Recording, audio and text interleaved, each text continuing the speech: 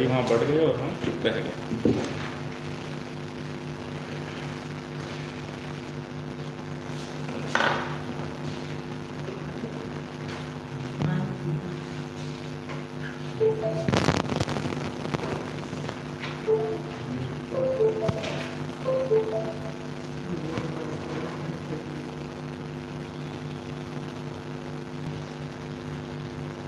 चलिए ओपन हो गया। सब लोग, बाकी लोग लाइव जो भी हैं यहाँ पर, आईआर के स्टूडेंट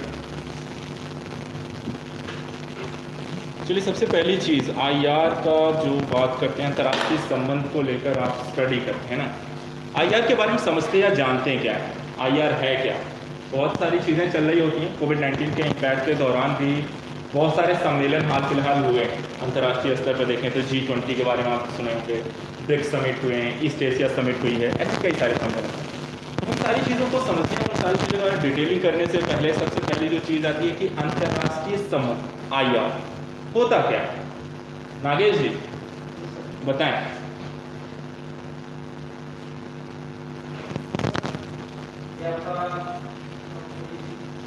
व्यापार के बारे में तो फिर हम अर्थव्यवस्था पढ़ें। अगर व्यापार के बारे में हमें सबसे अच्छे तरीके से पढ़ना है तो इकोनॉमी पढ़ना चाहिए। क्योंकि वहाँ बेसिक टर्मिनोलॉजी भी है और सबसे अच्छे तरीके से क्या रूल्स रेगुलेशन किस तरीके से है फंडिंग किस तरीके से होती है, कौन वहाँ पर उसको लेकर प्रतिबंध कैसे लगते हैं, वो सारी चीज़ें अगर समझनी है तो फिर तो हम इकोनॉमी पढ़ेंगे, हम आईआर क्यों पढ़ेंगे?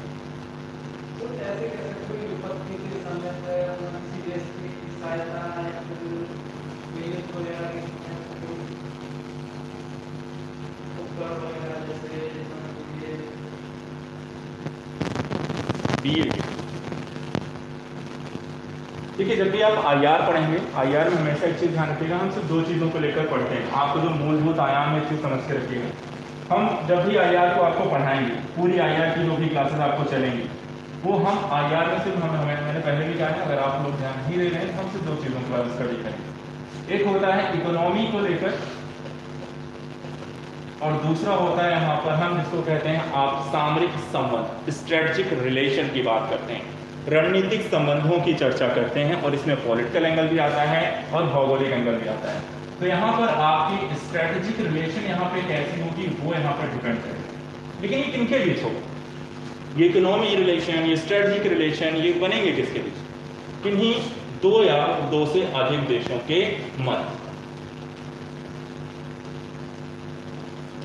दो या दो से अधिक देशों के मध्य, यदि हम किसी भी तरीके के इकोनॉमिकल कंडीशंस क्रिएट करते हैं, या आपके स्ट्रेटेजिक रिलेशन बनाते हैं, उनको अगर हम पूरी तरीके स्टडी करते हैं तो उसको हम कहते हैं अंतर्राष्ट्रीय संबंध ये मूलभूत दो आयाम है, लेकिन ये विस्तार करता है।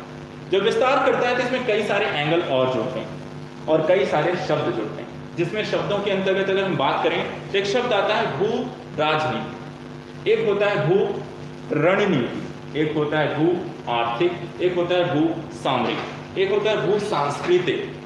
यहाँ पर भू कॉमन है, अर्थात जियो कॉमन जियो कॉमन क्यों है? क्योंकि अंतर्राष्ट्रीय संबंध की जब भी आप स्टडी करते हैं तो उसका मूलभूत आधार भूगोल।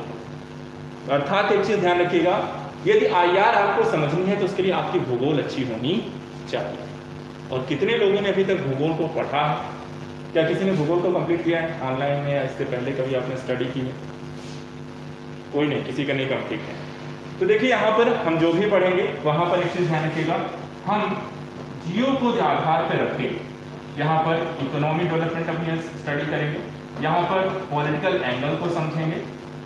यहाँ पर साथ ही साथ हम कहेंगे अपनी सोसाइटी और कल्चर के बारे में स्टडी करेंगे। किस तरीके से यहाँ पर संबंध बनते हुए हमें दिखाई देते हैं। इसके अतिरिक्त अगर हम बात करते हैं स्ट्रेटेजिक बेस अर्थात जिसमें हम बात करते हैं कि डिफेंस सेक्टर को लेकर हम इसमें स्टडी करते हैं। अर्थात इसका बहुत ज़्यादा डिटेलिंग के पर्पज से जाते हैं। एक चीज़ आती है कि आप सिलेबस देखते हैं। अब आईआर का कहीं भी कोई भी सिलेबस देखें, किसी भी स्टेट बेसिक एग्ज़ाम में या किसी भी आईएएस के एग्ज़ाम में एक चीज़ बहुत ही कम आती है। वो है चार लाइन का सिलेबस सिलेबस कितना है? सिर्फ़ चार लाइन का सिलेबस लेकिन जब हम इसको स्टडी करना शुरू करते हैं और प्रीवियस ईयर के क्वेश्चन पेपर को आप इसमें देखते हैं तो यहाँ पर इसको पढ़ते समय आप बहुत ज़्यादा डिटेल से कहने का मतलब कि जो चार लाइन का सिलेबस है, वो वास्तव में 400 से ज़्यादा पेज की किताब से भी ज़्यादा चीज़ें इसमें पढ़नी पड़ती। ये इतना ज़्यादा विस्तार से इसको स्टडी करते पिछली बार जब मैंने आई पढ़ाया था तो पाँच महीने लगे थे। और उन पाँच महीनों को पढ़ाने के बावजूद आई में ऐसे बहुत सारे टॉपिक्स थे, जो कि वहाँ पे बच्चे कह रहे थे, इस सेक्शन को नहीं पढ़ाया गया तो ऐसा क्यों किया गया? आईआर के जो क्वेश्चन आते हैं, वो हमेशा होते हैं करंट बेसिस अर्थात, जो भी चीज़ पूछी जाएगी, वो पूछी जाएगी कि पिछले एक से डेढ़ साल में अंतर्राष्ट्रीय स्तर पर कौन कौन सी घटनाएँ कौन कौन से क्षेत्र ज़्यादा प्रमुख चर्चा का विषय रहे हैं? आपको क्वेश्चन सिर्फ़ वहीं से आएगा तो यहाँ पर ध्यान रखिएगा, हम जो भी चीज़ें स्टडी करेंगे, उस स्टडी करने में एक चीज़ का हमें आधार रखना है कि हम आईआर में वही पढ़ेंगे जो कि एक क्लियर का या प्लस सिक्स मंथ और अब इसमें कुछ भी हो सकता है। इसमें हो सकती है आपकी जो आपके पड़ोसी देशों से रिलेटेड से संबंधों को हम पढ़ सकते हैं। इसमें हम कुछ ऐसे देशों के साथ संबंधों को पढ़ सकते हैं जो कि वैश्विक स्तर पर सबसे ज़्यादा प्रभावी रहते हैं हर प्रकार के संबंधों के बनने के दौरान। जैसे कि यूएसए है चाइना है रशिया है और भी ऐसे कुछ देश जो कि इंपॉर्टेंस हो सकते हैं। इसके अतिरिक्त कुछ नए दोस्त, जिसको हम कहते हैं कुछ न्यू रिलेशन जो कि बहुत ज़्यादा बनते और बिगड़ते रहते हैं समय के अनुसार। न्यू रिलेशन में जो इंपॉर्टेंस है। इसराइल के साथ बनते संबंधों को प्रगाढ़ता पिछले कुछ समय से बहुत ज़्यादा मिली। अरब देशों के साथ भारत के संबंध पिछले कुछ दशकों से तो अच्छे नहीं थे, लेकिन पिछले कुछ सालों से बहुत बेहतर हुए हैं, जब से 2014 के पश्चात। तो यहाँ पर भी इंपॉर्टेंस हो जाता है। इंपॉर्टेंस हो जाता है कि हाल फ़िलहाल में कहाँ पे संबंध बेहतर बनते हुए हमें दिखाई देते हैं। तो ऐसे नए संबंधों को यहाँ पर भी हम पढ़ेंगे, उनको यहाँ पर इंपॉर्टेंस दी जा सकती है। इसके अतिरिक्त, हमेशा यहाँ पर आते हैं कुछ संगठन। संगठन जो कि अंतर्राष्ट्रीय परिदृश्य को प्रभावित करने के लिए एक फोर्स के रूप में काम करते हैं और कई सारे देश इसका सहारा लेकर अपनी अंतर्राष्ट्रीय कूटनीति और रणनीति को वहाँ पर निर्धारित भी करते हैं और उसी के सहारे आगे अन्य देशों पर इसका प्रभाव भी पड़ता है। इसमें जो बहुत इंपॉर्टेंट है, जैसे कि आशियान। ब्रिक्स। UNO NATO. हर एक संगठन अपने आप में अलग प्रकृति है। अगर आप नाटो को देखें तो ये एक सामरिक संगठन अर्थात सुरक्षा और डिफेंस को लेकर बनाया गया यूरो को देखो तो ये मूलतः शांति को लेकर अंतर्राष्ट्रीय स्तर पर किस तरीके से शांति, सहयोग, सौहार्द को बढ़ाया जा सकता है? अगर हम ब्रिक्स की बात करें तो ये अगर हम देखें तो मूलतः इसका मूल उद्देश्य यहाँ पर आर्थिक है। लेकिन इसके साथ साथ ये अंतरराष्ट्रीय स्तर पर अपनी प्रभावशीलता को बढ़ाने को लेकर एक क्षेत्रीय संगठन के तौर पर इसे देखा जाता है, जो कि यहाँ पर बहुध्रुवी विश्व के तो ज़्यादा कह सकते हैं हम, प्राथमिकता देने की होगा अर्थात कि सीधा सीधा अगर हम कहें, सीधे शब्दों में तो यूएसए की जो एक ध्रुवीय विश्व की पॉलिसी है, उसको समाप्त करके यहाँ पर ब्रिक्स नेशन को स्थापित करना, क्योंकि वैश्विक अर्थव्यवस्था के केंद्र बिंदु के रूप में इसमें चाइना भी है, इस संगठन का सदस्य, और भारत भी। जो अंतरराष्ट्रीय संबंधों को प्रभावित करने में 2050 तक सबसे ज़्यादा प्रभावशील देश होंगे लेकिन इन संगठनों की प्रभावशीलता प्रभावित तब होती है जब दो देश, जैसे कि चाइना और इंडिया की वर्तमान स्थिति को देखें। दोनों ही देश अपने आप में आर्थिक तौर पर सक्षम बन रहे हैं। चाइना भारत से कहीं ज़्यादा बेहतर है इस समय। पॉलिसी के तौर पर देखें तो उसकी चाइना की जहाँ हार्ड पावर पॉलिसी का यूज़ करता है तो भारत सॉफ्ट पावर पॉलिसी का यूज़ करता है। दोनों के इफ़ेक्ट क्या है? दोनों के फ़ायदे क्या है? दोनों के नुकसान क्या है? तो पॉलिसीज़ भी यहाँ पर पढ़नी बहुत ज़रूरी है। और साथ ही साथ एक नई पॉलिसी आई है। अभी तक अंतर्राष्ट्रीय संबंध में हम सिर्फ़ दो तरीके की पॉलिसीज़ को देखते हैं जो कि देश अपनाते हैं। एक या तो या सॉफ्ट पावर अपनाते हैं, या तो हार्ड पावर अपनाते हैं। लेकिन एक तीसरी आई है पॉलिसी जिसको कहते हैं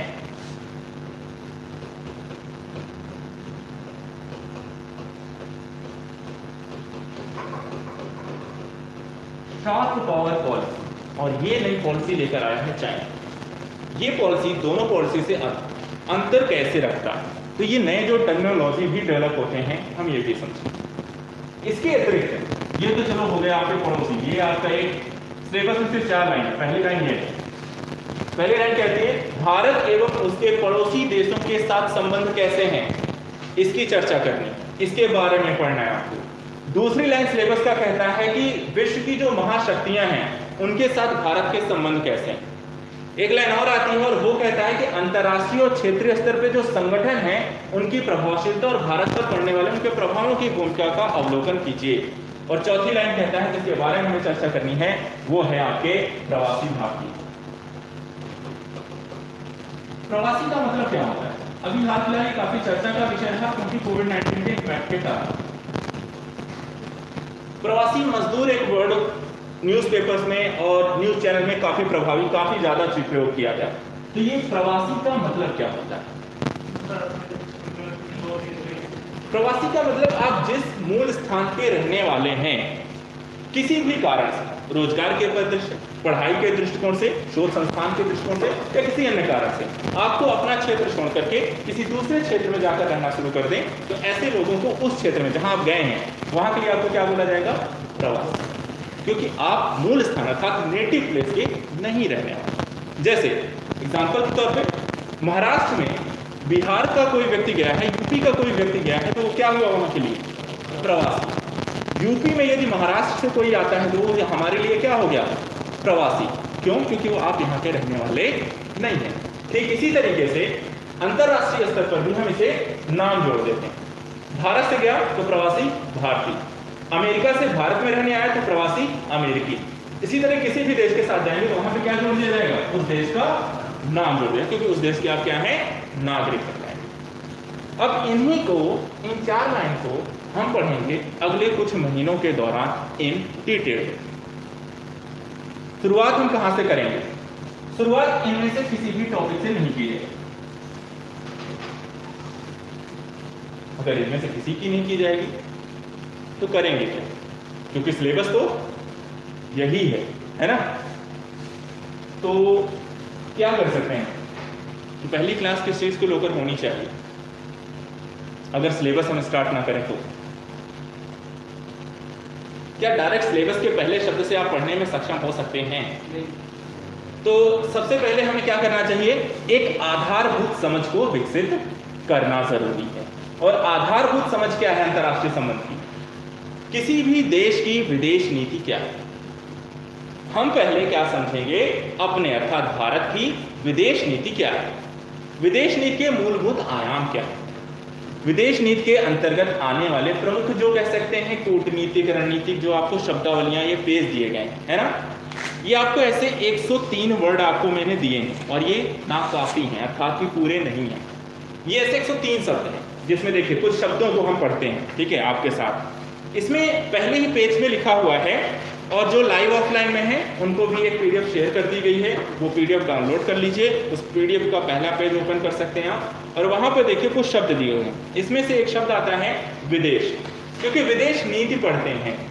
तो विदेश का मतलब क्या होता है? और देखिए इसको हिंदी और इंग्लिश दोनों में दिया गया कारण क्या है? क्योंकि पेपर कैसा आता है? बाइलिंगुअल आता है। समटाइम हम हिंदी भाषी छात्रों के साथ समस्या ये है कि हम हिंदी का मीडियम तो ज़रूर ले लेते हैं, लेकिन हमारी हिंदी अच्छी नहीं होती। किस प्रकार के शब्दों को लेकर, बहुत ज़्यादा क्लिष्ट शब्दों को लेकर। एक आम बोलचाल की भाषा में हमारी हिंदी समझ योग्य है, लेकिन यदि हम बहुत ज़्यादा क्लिष्ट शब्दों का प्रयोग कर दें तो हम फंस जाते हैं। उस समय हमें क्या लगता है इंग्लिश का वर्ड मिल जाए तो हमारे लिए इजी हो जाता है। और सही में बात करें तो इंग्लिश ज़्यादा अच्छे समझ में आ जाए इंग्लिश अपने आप में थोड़ी सी इजी गोइंग है। बस हम समस्या ये है कि हमारी क्या है? नेटिव लैंग्वेज में हमारी क्या है? वो एक मातृभाषा के रूप में ना होने के कारण ये समस्या पर तो लगती ज़रूर लेकिन इसके लिए हम आपको क्या करेंगे? बाइलिंगुअल लेकर मूल जो आधार होगा, हिंदी होगी। जो आपको लिखाया जाएगा, जो आपका कंटेंट होगा, वो भी हिंदी होगा। लेकिन जब हम एक्सप्लेन कर रहे होंगे, चर्चा कर रहे होंगे, चीज़ों को डिस्कस कर रहे होंगे तो वहाँ पर मेरे पढ़ाने के तरीके में हिंदी और इंग्लिश दोनों चलती रहेगी ठीक है? बाकी यहाँ अगर कहीं दिक्कत आएगी तो उसके लिए यहाँ पर इस तरीके की चीज़ें मिलती रहेंगी। आपको कंटेंट लिखाया जाता रहेगा और आपको कंटेंट दिया भी जाता रहेगा। डिस्कस करने के लेकर हम डिटेल से डिस्कस करते रहे। अब देखिए, इसमें विदेश शब्द का मतलब लिखा है है ना? तो चलिए पढ़िए। आप विदेश का मतलब क्या लिखा हुआ? एब्रॉड लिखा हुआ। इसको समझाया गया है इसमें। विदेश में लगभग कितने कुछ बताया गया कि विदेश का मतलब एब्रॉड क्या मतलब क्या हुआ? विदेश, देश का मतलब कि जहाँ पर आप रहते हैं, और वी का मतलब वहाँ से बाहर जाने की स्थितियाँ अर्थात ऐसा आप, जब अपने देश से आप बाहर किसी अन्य क्षेत्र में जाते हैं तो उसको हम क्या संज्ञा देते हैं? विदेश की संज्ञा देते हैं। आपका पड़ोसी भी क्या है? पाकिस्तान आपके लिए क्या है? विदेश है। आप अगर अमेरिका भी गए हैं तो भी कहाँ गए हम एक शब्द का यूज़ करते हैं। आप अपने देश से बाहर गए हैं तो विदेश गया विदेश में कोई भी देश हो सकता है, आपका देश छोड़ सकते अब इसके अंतर्गत ऐसे बहुत सारी चीज़ें आएँगी जिनके बारे में आपको पढ़ना है, समझना है और चीज़ों को बाकी जब मैं पढ़ाऊँगा तो वहाँ पर डिस्कस करेंगे। कुछ सिंपल सिंपल पहले वर्ड लेते हैं। एक आता है, इसमें देखिए 69 नंबर पे दिया हुआ है, परस्पर हित दिया हुआ है।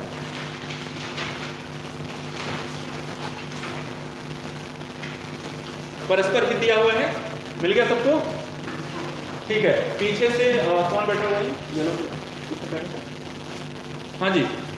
69 नंबर पे जो परस्पर हित लिखा हुआ है, उसका क्या मतलब हुआ? क्या बताया गया इसमें? म्यूचुअल इंटरेस्ट और म्यूचुअल इंटरेस्ट का मतलब कैसे क्या बताया गया? किस तरीके में चीज़ें क्या है कि दोनों पक्षों को व्यापक रणनीतिक भागीदारी की भावी योजना का रचनात्मक लाभ उठाने और परस्पर हित के विभिन्न क्षेत्रों में सहयोग बढ़ाने का अवसर। अर्थात कि अलग अलग क्षेत्रों में हम कैसे एक दूसरे के साथ मिलकर के भी एक दूसरे के लाभ के उद्देश्य से कार्य करेंगे। म्यूचुअल इंटरेस्ट का मतलब हुआ जहाँ दोनों को लाभ म्यूचुअल इंटरेस्ट का मतलब क्या हुआ? जहाँ दोनों को लाभ हो रहा हो। अर्थात कि मान लीजिए, यदि मैंने मुझे कंपनी खोलनी है, मुझे एक कंपनी खोलनी है कंपनी खोलने के लिए क्या है? मेरे पास विजन है, लेकिन मेरे पास क्या है? इनकम नहीं है, पैसा नहीं है कि मैं उसमें इन्वेस्ट कर सकूँ। तो मुझे क्या चाहिए? एक पार्टनर चाहिए पार्टनर कैसा चाहिए? जिसके पास पैसा हो, क्योंकि विजन मेरे पास है, पैसे वाला आदमी चाहिए विजन मेरे पास है। मैं किसके पास जाऊँगा? जो मुझे इन्वेस्टमेंट के रूप में मनी दे सके। और जब मैं उसके पास जाऊँगा तो वो क्या कहेगा? कि मैं आपको पैसा दूँगा तो मेरा क्या फ़ायदा? यही होगा ना, कि मेरा क्या फ़ायदा है? तो आप उसे क्या दे सकते हैं? पार्टनरशिप पार्टनरशिप देंगे? कहेंगे कि चलिए मैं आपको पार्टनरशिप दूँगा। जितना आप मुझे पैसा दीजिए, मैं इसको इन्वेस्ट करूँगा। इन्वेस्ट करने में जो प्रॉफिट होगा 50 परसेंट में आपका 50 परसेंट मेरा। मेहनत आपकी, पैसा आपका प्रॉफिट दोनों का। तो क्या इस तरीके में वो मान जाएगा किसमें दोनों लोगों को लाभ है? क्या किसी को इसमें नुकसान है? नहीं है। क्योंकि उस बंदे को कुछ नहीं करना है। क्या करना है? पैसा देना और पैसा भी कब देना है? जब सामने वाले को आपको लगता है कि उसका विजन काम करेगा। आजकल की मार्केट में क्या होता है? इन्वेस्टमेंट ही होता है। रिलायंस ने अभी रिलायंस जियो में अपने एक लाख करोड़ से ज़्यादा का इन्वेस्टमेंट हासिल किया। हासिल किया और विश्व की अलग अलग बड़ी बड़ी कंपनियों से हासिल किया। गूगल से फेसबुक से अल्ट्राटेक से और बहुत सारी अमरटेक वहाँ पे कंट्री हैं जो कि स्कॉटलैंडियन हैं ब्रिटेन की हैं यूएसए की हैं चाइनीज़ हैं, बहुत सारी कंपनियों ने क्या किया? निवेश किया। और ऐसा निवेश नहीं किया है कि 500 हज़ार या सौ हज़ारों करोड़ों का निवेश किया है। इसके बदले में उन्हें क्या मिला? पार्टनरशिप परसेंटेज किसी को सात परसेंट किसी को आठ परसेंट किसी को दो परसेंट किसी को एक परसेंट उन्होंने इन्वेस्टमेंट क्यों किया? म्यूचुअल अंडरस्टैंडिंग उनको क्या दिखता है? कि रिलायंस जियो ने पिछले चार पाँच साल में जो हासिल किया है इन फ्यूचर ये और भी बड़े स्तर पर लाभ कमा सकता है। और किस लिए कर रहे हैं? फ्यूचर के पीछे। क्योंकि फ्यूचर में क्या होने वाला है? भारत में 5G आने वाला है। आने वाला है? 5G के लिए क्या चाहिए? पैसा चाहिए इन्वेस्टमेंट चाहिए। और वो विजन किसके पास है? रिलायंस पास ऑलरेडी है। रिलायंस क्षेत्र में काम ऑलरेडी कर रही है। तो गूगल को फेसबुक को तार और खंबे लगाने की ज़रूरत नहीं है। वो किसको करना है? रिलायंस को करना है। और इनको क्या करना था? इनको सिर्फ़ पैसा डाला। रिलायंस पास पैसे की कमी थी, उसने पैसा लिया इन्वेस्टमेंट किया। जो प्रॉफिट होगा, जितने परसेंटेज आपको हायर किया है, वो क्या करेगा आपको? प्रॉफिट में बांट देगा। ये क्या हुई? म्यूचुअल इंटरेस्ट हुआ। दोनों के परस्पर आपस में हित हैं। और अंतरराष्ट्रीय संबंधों को जब हम पढ़ते हैं तो बस इसी चीज़ का ख्याल रखते हैं कि जब भी किन्हीं भी दो देशों, दो कंपनियों, दो संगठनों के बीच किसी भी प्रकार का कोई भी रिलेशन बनेगा तो उसमें दोनों ही देशों की म्यूचुअल अंडरस्टैंडिंग वहाँ पर होंगे, अर्थात दोनों का कोई ना कोई लाभ होता है। अभी एक मुद्दा है, इसको और समझाने के लिए। अभी हाल ही में आरसीईपी का एक समझौता हुआ। भारत उससे बाहर है? पढ़ा इसके बारे में नहीं पढ़ा? नहीं पढ़ा। रिलायंस के बारे में पढ़ा, आरसी के बारे में नहीं पढ़ा। देखिए आरसीपी का एक समझौता है, उसके डिटेल से पढ़ेंगे। अब इस समझौते में आशियान और छह कंट्री छह कंट्री में चाइना थी, जापान थी, दक्षिण Korea, Bharat, New Zealand, Australia और आसियान के दस कंट्री टोटल सोलह कंट्री अब इनके एक समझौता होना था, जिसको कहते हैं फ्री ट्रेड एग्रीमेंट जिसमें किसी भी प्रकार का बिना शुल्क दिए आप एक दूसरे के देशों में किसी भी वस्तुओं, सेवाओं का आप आयात, निर्यात कर सकते हैं। और यह एग्रीमेंट में भारत बाहर। तो भारत बाहर क्यों हुआ? किस कारण से शामिल नहीं हुआ होगा? क्योंकि दोनों की म्यूचुअल अंडरस्टैंडिंग साझा नहीं हुए होंगे। भारत के हित प्रभावित हो रहे होंगे। कारण क्या था? क्योंकि इसमें चाइना शामिल। और हाल फ़िलहाल अगर हम देखें पॉलिसी समझिए। आईआर में पॉलिसी समझने बहुत ज़रूरी है। आपको सभी घटनाक्रम एक क्रम में लगाकर देखने पड़ते हैं। भारत चाइना के संबंध अच्छे नहीं है। चाइना पर भारत ने हाल फ़िलहाल में कई सारे प्रतिबंध लगाए। उनके कई सारे एप्स को बैन कर दिया। कई सारी चीज़ों पे कोटा लगा दिया, अर्थात कि चाइना से हम सिर्फ़ इतनी मात्रा में ये वस्तु खरीदेंगे, उससे ज़्यादा नहीं खरीदेंगे। तो भारत ने चाइना को रोकने के लिए कई सारी पॉलिसीज़ के माध्यम से उसे द्विपक्षीय स्तर पर तो रोक दिया। लेकिन जब आरसीईपी में भारत शामिल होता तो वहाँ पे क्या था? चाइना अपनी वस्तुओं को इन 10-15 देशों में किसी को भी सेल आउट करता, वो उनसे सस्ते दाम पे खरीदते और फिर वही सारी चीज़ें भारत को बेच देते। तो होता क्या? थर्ड पार्टी ट्रेड अर्थात भारत चाइना साझे सामने से ट्रेड ना करके थर्ड पार्टी के थ्रू भारत में चाइनीज़ सामान आता और भारत कुछ नहीं कर सकता था। बैन भी नहीं कर सकता था। क्यों? क्योंकि वो आपको कोई हांगकांग आपको बेच रहा है या फिर जापान आपको बेच रहा है या फिर आपको ऑस्ट्रेलिया को बेच रहे हैं। दूसरा भारत मैन्युफैक्चरिंग सेक्टर में कमज़ोर है। भारत का निर्यात अच्छा नहीं है। और इसके कारण क्या होगा? भारत को ज़्यादा से ज़्यादा आयात करना पड़ेगा। और भारत का बैलेंस ऑफ़ पेमेंट जो होगा, वो और ज़्यादा माइनस में जाएगा। अर्थात भारतीय व्यापारियों को नुकसान होगा। तो ऐसी स्थितियों में भारत क्या हुआ? परस्पर इंटरेस्ट एक दूसरे के साथ ना मिलने के कारण वो बाहर तो मेरे समझाने का मतलब ये है कि इन शब्दों को समझने के लिए बहुत ज़रूरी है कि आप इनको अच्छे से समझें। इन शब्दों को मैं समझा दूँगा, लेकिन आप इनको एक बार पढ़ के आइए। इसमें कुछ पॉलिसी एक पॉलिसी आई है पेज नंबर वन पे थर्ड नंबर पूर्वोन्मुखी नीति जिसको इंग्लिश में क्या कहते हैं? एक्ट ईस्ट पॉलिसी एक पॉलिसी इससे पहले आई थी। उसको उन्होंने बोला था लुक ईस्ट पॉलिसी बाद में इसको चेंज करके कर दिया एक्ट ईस्ट पॉलिसी इतना बड़े बड़ा परिवर्तन, इतनी बड़ी सिर्फ़ ये पॉलिसी पॉलिसीज़ का आएँगे, उसके बारे में पढ़ेंगे। इसके अंदर क्या क्या चीज़ें बहुत बड़ा टॉपिक है।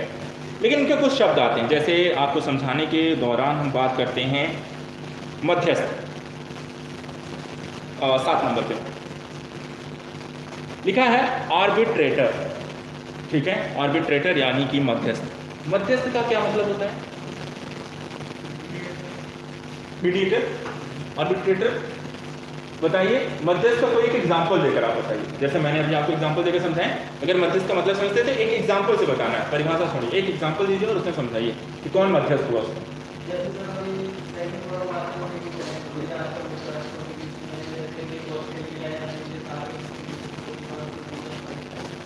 कोई सामझी समझौता, जैसे कि अमेरिका ईरान का विवाद चल रहा है है ना? अमेरिका ने क्या किया, ईरान पे प्रतिबंध लगा दिए। दो लोग लड़ाई कर रहे दो लोगों पे किसी प्रकार का समझौता नहीं है। इसमें कोई तीसरा पक्ष आ जाए। तीसरा पक्ष ऐसा होना चाहिए जो कि दोनों का ट्रस्ट कह सकते हैं जीत सकता हो या फिर जिसका दोनों दो, जिस देश पर ट्रस्ट करते हैं। भारत क्या इसमें एक अच्छी भूमिका निभा सकता है? क्योंकि भारत ईरान के संबंध पहले से अच्छे हैं और भारत अमेरिका के संबंध हाल फ़िलहाल बहुत अच्छे हो गए ऐसी स्थिति में भारत के भी अपने आर्थिक लाभ हैं ईरान के साथ। क्या लाभ है? Petroleum, crude, oil. Bharat Iran के साथ जो व्यापार करता है, विश्व में अन्य किसी भी देश के साथ यदि क्रूड ऑयल अगर वो आयात करता है तो सबसे सस्ता अगर कोई देश उसे देता है तो वो कौन है? ईरान। दूसरा फ़ायदा क्या है? भारत किसी अन्य देश के साथ जो क्रूड ऑयल आयात करता है तो उसको डॉलर पे करना पड़ता है, जो कि फ्लक्चुएट होता रहता है मार्केट के हिसाब से। कई बार भारत को बहुत ज़्यादा नुकसान भी उठाना पड़ता है, क्योंकि डॉलर के मुकाबले रुपया क्या हो जाता है? कमज़ोर हो जाता है, और ऐसे स्थिति में उसे ज़्यादा पेमेंट करनी पड़ती है। लेकिन ईरान के साथ भारत का फ़ायदा, क्योंकि भारत उनके साथ डॉलर में पे ना करके रुपए में देता है। जिसके कारण डॉलर के कुछ भी चल रहा हो कितना भी फ्लक्चुएट हो रहा हो, उससे भारत को किसी प्रकार का कोई नुकसान नहीं होता है, क्योंकि उसका जो समझौता होता है, वो रुपए होता है अब ऐसे देश के साथ यदि आप व्यापार ना करने पाए वो भी किसी तीसरे देश की लड़ाई होने के कारण तो नुकसान किसका? भारत का है? तो ऐसी स्थिति में आप क्या कर सकते हैं कि दोनों के मध्य जो विवाद की स्थितियाँ, उसको किसी तरह सुलटा दिया जाए, उनके बीच कोई समझौता करा दिया जाए, और इस समझौते के लिए जो बातचीत का आप आप चीज़ें तैयार करते हैं तो वो आपको कहलाता है कि आप क्या हुए, एक मध्यस्थ के रूप में काम करते हैं, कि इनसे भी बात की, ईरान से भी भारत ने बात की, अमेरिका से भी बात की। अमेरिका की बात को ईरान तक पहुँचाया और ईरान की बात को अमेरिका तक पहुँचाया। और फिर दोनों की बातों को लेकर एक वहाँ पर क्या किया? कुछ शब्दों के जाल को बुन के एक वहाँ पे समझौता, एक डिक्लेरेशन बना ली और फिर दोनों को बैठा के साइन करा दिया। वो क्या हो गया? मध्यस्थ। एक और एग्ज़ाम्पल आपको समझाता हूँ। भारत पाकिस्तान के मध्य कश्मीर के मुद्दे को लेकर लगातार विवाद रहता है और इसमें कई सारे देश कहते हैं कि हम मध्यस्थ बनने को तैयार कभी अमेरिका कहता है कभी रशिया बोला करता था, आज रशिया नहीं बोलता, लेकिन आज अमेरिका बोलता है। चाइना को शामिल करने की कोशिश करते हैं। और भारत क्या कहता है? क्या भारत किसी को मध्यस्थ बनाने को तैयार है? क्यों?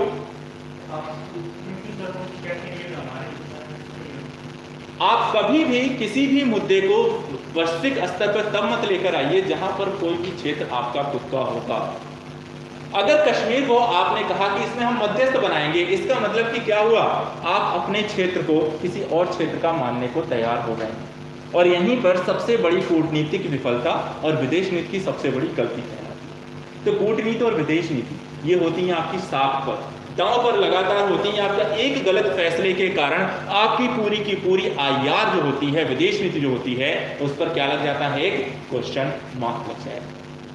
तो ये सारी चीज़ें बहुत ज़रूरी हैं। ये सारे पहलू बहुत ज़रूरी हैं। इसमें बहुत सारी किस्से और कहानियाँ हैं और हर एक किस्से कहानी के, हर एक कई तरीके के मतलब हर कोई इसे अलग तरीके से प्रायोजित करता है। हमें एक चीज़ ध्यान रखना है, हम आई में हमेशा जो होगा, केंद्र बिंदु में अगर किसी को रखकर पढ़ेंगे तो वो होगा कौन?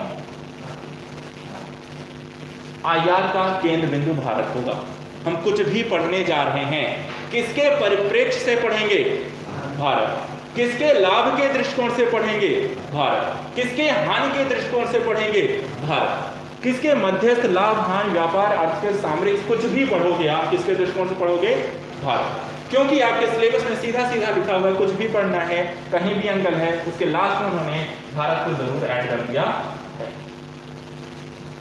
अब एक क्वेश्चन आता है कि क्या अमेरिका की पॉलिसी अर्थात क्या अमेरिका के नेतृत्व में, जो कि पॉलिटिकल है अर्थात राजनीतिक परिवर्तन। क्या भारतीय को या भारतीय देश को या भारतीय विदेश नीति को क्या किसी तरीके से प्रभावित करने की क्षमता रखता है? क्या किसी दूसरे देश में होने वाले चुनाव आपकी, विदेश नीति या आपके साथ देशों के जो संबंध इत्यादि हैं, वो सीधे प्रभावित होती हैं? होती और बहुत ज़्यादा होती हैं कई बार। कई बार पूरा पलट जाती है परिस्थिति जैसे कि एग्ज़ाम्पल के तौर पर अगर हम देखें नेपाल को ले लीजिए, श्रीलंका को ले लीजिए, और बांग्लादेश को ले लीजिए। बांग्लादेश का एग्ज़ाम्पल में दो लोग वहाँ पर आते हैं, एक आती हैं शेख हसीना। शेख हसीना जब आप वहाँ पे आती हैं, जब तो वहाँ पे भारत के संबंध बांग्लादेश के साथ कैसे रहते हैं? अच्छे रहते हैं? अच्छे रहते हैं? ठीक ठाक रहते हैं। लेकिन जैसे ही सत्ता में जो विरोधी पार्टी आती है, भारत के संबंध खराब हो जाते हैं। अब मैं इसी तरह नेपाल में है। नेपाल में एक माओवादी संगठन है, एक आपका नेपाली कांग्रेस है, कुछ और सारी वहाँ पे मधेसी पार्टियाँ हैं। वहाँ पर भी जैसे पॉलिटिकल मधेसी पार्टी है। मधेसी कौन है? मधेसी कौन है वहाँ पे? मधेसी भारतीय मूल के लोग जो कि नेपाल की तराई क्षेत्र और यूपी के बॉर्डर से लगते हैं। वो लोग भारत के पक्ष में लेकिन जो माओवादी हैं, वो चाइनीज़ के पक्ष में तो वहाँ की पॉलिसी में परिवर्तन देखते जैसे ही सरकार में परिवर्तन होगा, भारत के साथ जो संबंध होंगे, वो अच्छे या खराब होंगे। जब भी चुनाव होता है, तब भी वहाँ पे परिवर्तन आता है। नेपाल में चुनाव होने, नेपाली कांग्रेस की जो सरकार है, उन्होंने क्या किया? नेपाल के मानचित्र को लेकर भारत के साथ विवाद शुरू किया। एक मुद्दा आता है, एक शब्द आता है, दो शब्द हम यहाँ पे पढ़ते हैं। एक होता है, आप इसे आप सुन के रखते हैं। एक शब्द हम यूज़ करते हैं राष्ट्र और एक शब्द यूज़ करते हैं राज्य यूज़ करते हैं। राष्ट्र भी राज्य भी। दोनों में डिफरेंस क्या? है अब इसको ये मत समझिएगा कि यहाँ पर राज्य हम इसको स्टेट लिख देंगे। स्टेट स्टेट दो तरीके के लिखा जाता है इंग्लिश में। एक यहाँ पे हम इसको स्मॉल कह देते हैं, ठीक है?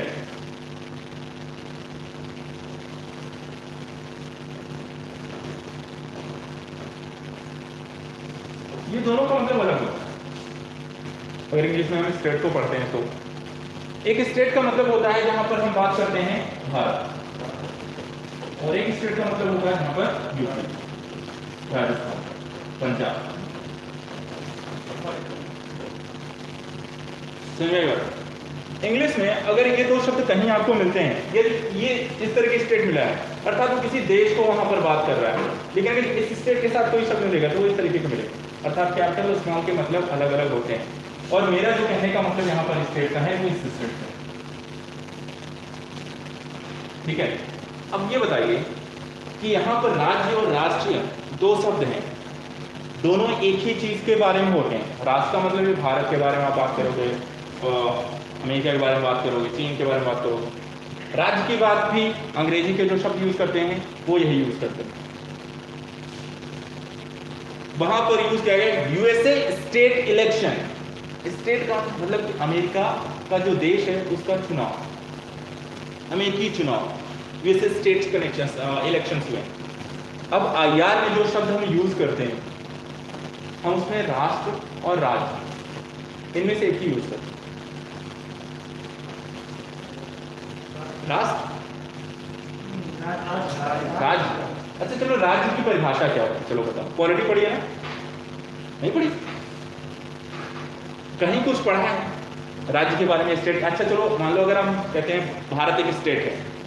तो स्टेट कैसे है? क्या ये आप बता सकते हैं? किस आधार पर स्टेट है?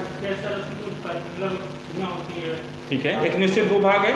ठीक है, और? एक निश्चित जनसंख्या। सरकार। और चौथा? चार तथ्य होते हैं। संप्रभुता। तो ठीक है, हमने कहा कि किसी भी इस राज्य का मतलब हुआ क्या? कि एक निश्चित भू भाग होगा जनसंख्या होगी उसमें रहने वाली निवास करने वाली उसको संचालित करने के लिए सरकार होगी। और वो सरकार जो भी निर्णय लेगी उसमें क्या होगा? पूरी तरह से संप्रभु होगी। अगर ऐसा है तो वो क्या है? स्टेट है राज्य अगर इन चारों में से कुछ नहीं है तो एग्ज़ाम्पल के रूप में तिब्बत क्या है? क्या तिब्बत को आप एक स्टेट कह सकते हो? क्यों नहीं कर सकते? किस आधार नहीं कर सकते? भाई भूभाग तो है, जनसंख्या है, सरकार भी उनकी है। नहीं है? ये देखिए नॉलेज देखिए आप लोग सरकार नहीं कह रहे।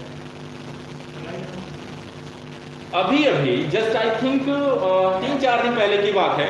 उनके जो स्टेट प्रमुख हैं, वो अमेरिका के राष्ट्रपति से मिलने गए थे। ये न्यूज़ आई थी बड़े बड़े आर्टिकल में आई थी। पिछले 60-70 वर्षों में ऐसा पहली बार हुआ है।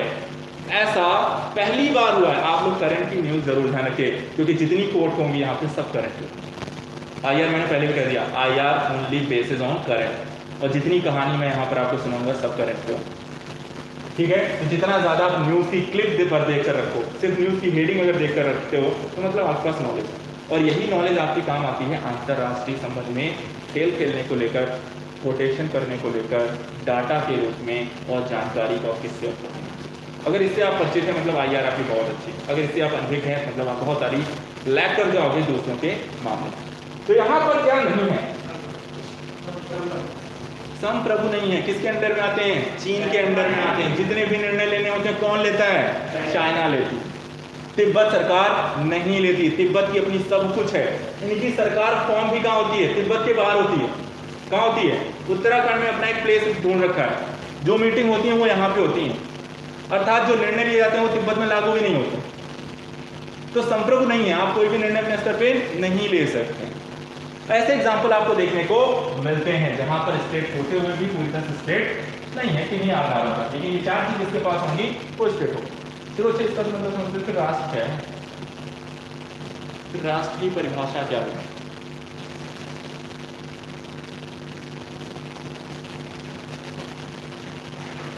आप, मैं बहुत छोटी चीज़ें बात कर रहा हूँ। और ये समझाने के लिए से कर रहा हूँ, क्योंकि हम सबसे पहले क्या करने वाले हैं आधारभूत क्लास को विकसित करेंगे आप जो नहीं जानते हैं, सबसे पहले वो तो समझ लें। उसके बाद तो जब एक बार बेस आपका क्लियर हो जाएगा, फिर तो मतलब फिर आप गाड़ी की स्पीड कितनी भी हाई कर लोगे, वो निकल जाएगी। लेकिन पता लगा बेस ही कवर नहीं है तो फिर आप गिरने वाले अच्छा राष्ट्र जैसे शब्दों का प्रयोग आप किन परिस्थितियों में करें एक शब्द चलिए इसके साथ में जोड़ देता हूँ। एक और शब्द।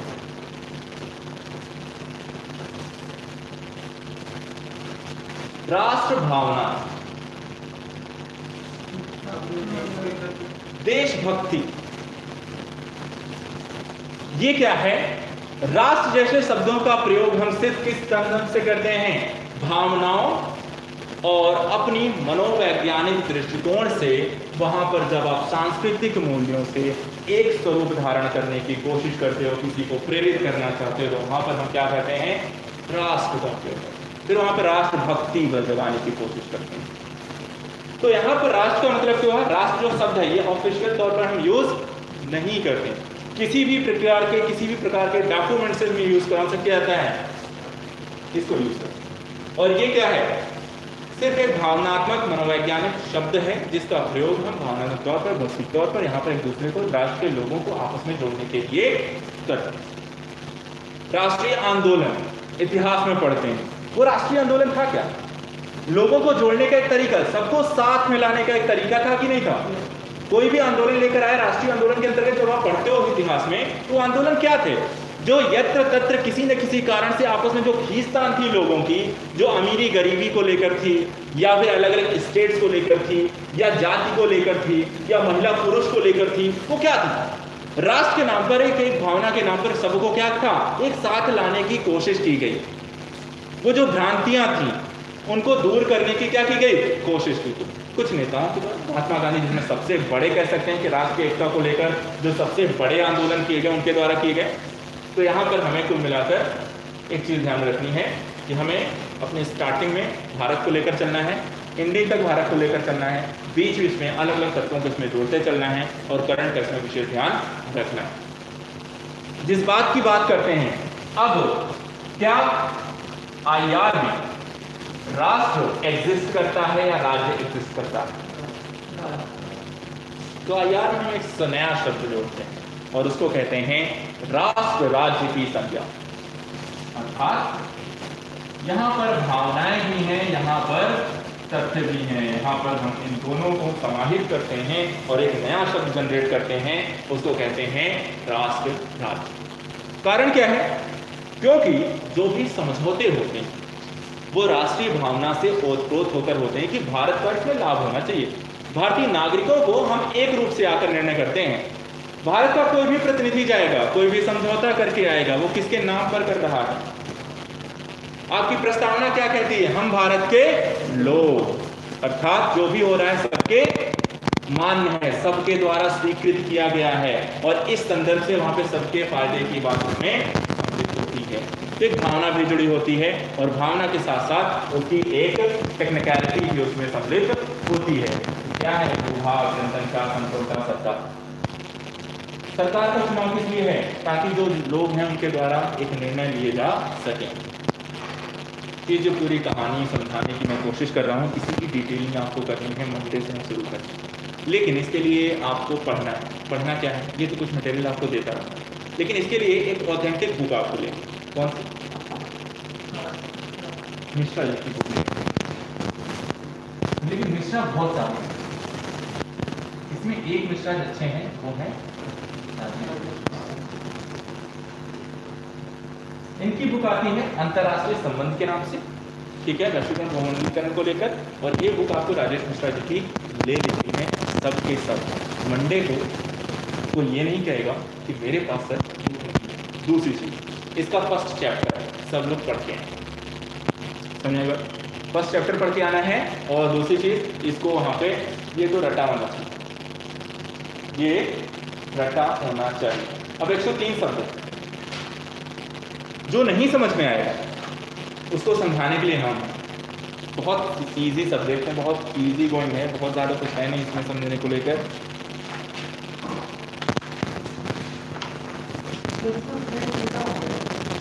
अच्छा सीधा कर लीजिएगा आपको नंबर से इसलिए नंबर तो सीधे उल्टे नहीं हुए प्रिंट उल्टे हो गए चलिए सीधा ले लीजिएगा अगर आपको दिक्कत जब मैंने हो जाते, कोई बात नहीं ऊपर आपको सब सीधा मिल जाएगा। ठीक है?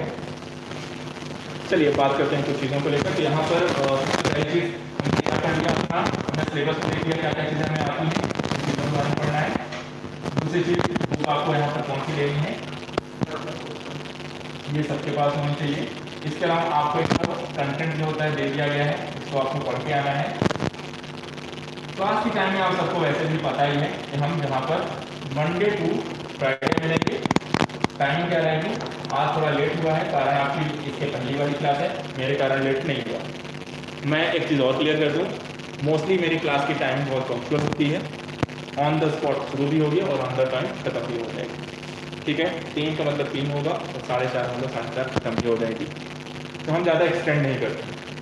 हम ऑन टाइम पे आएँगे, पढ़ेंगे कुछ होमवर्क दिया जाएगा क्लास खत्म हो जाएगी। इस क्लासेस में एक चीज़ ध्यान रखिए। मेरी क्लास में कुछ चीज़ें आपको रहेंगी, जो आपको, मेरे साथ साथ आपको काम करना पड़ेगा। अर्थात, मैं आऊँगा, आपको एक टॉपिक पढ़ाऊँगा। तो टॉपिक को हम यहाँ पर स्टडी करेंगे। आपको सब कुछ समझाया जाएगा। कुछ चीज़ें होंगी जिनको हम दिखाएँगे। क्योंकि हर चीज़ आपके दिमाग कर नहीं सकती। आपको घर पे जाकर कुछ पढ़ना। और साथ ही साथ आपको बहुत पुरानी पद्धति है बचपन से हम करते आए होते हैं, है ना? एल से लेकर स्टार्ट होती है तो हम कम से कम ट्वेल्थ तक करते हैं, ग्रेजुएशन में जाके छूट जाता है। लेकिन वहाँ पे कुछ आती हैं जब आपको थीसिस लिखने को दी जाती है, कहते हैं लास्ट पॉइंट आपको कुछ थीसिस और प्रैक्टिकल्स के बुक्स आपको जमा करनी होती है। तो यहाँ पे आपको कुछ होमवर्क हुआ है कि होमवर्क बहुत ज़्यादा नहीं होगा सिर्फ़ दो सौ शब्दों का दो सौ शब्द आप लिख क्या सकते हैं?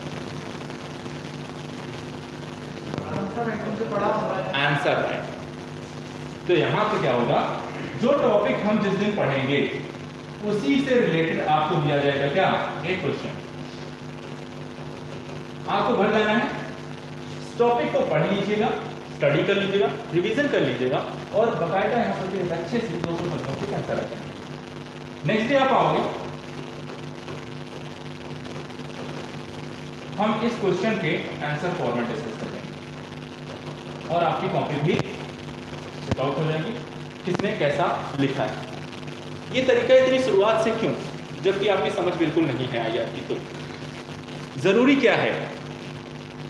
अगर हम कहें कि किसी भी बच्चे को अंग्रेज़ी की जो क्लासेस हुआ करते थे, पुराने वगैरह हम देखें तो क्लासेस कब अंग्रेज़ी की पढ़ाई जाती थी कक्षा छः जब पास हो जाता था बच्चा तब से उसे पढ़ाया जाता लेकिन आज के समय में क्या है? अंग्रेज़ी कब से पढ़ाई जाती है?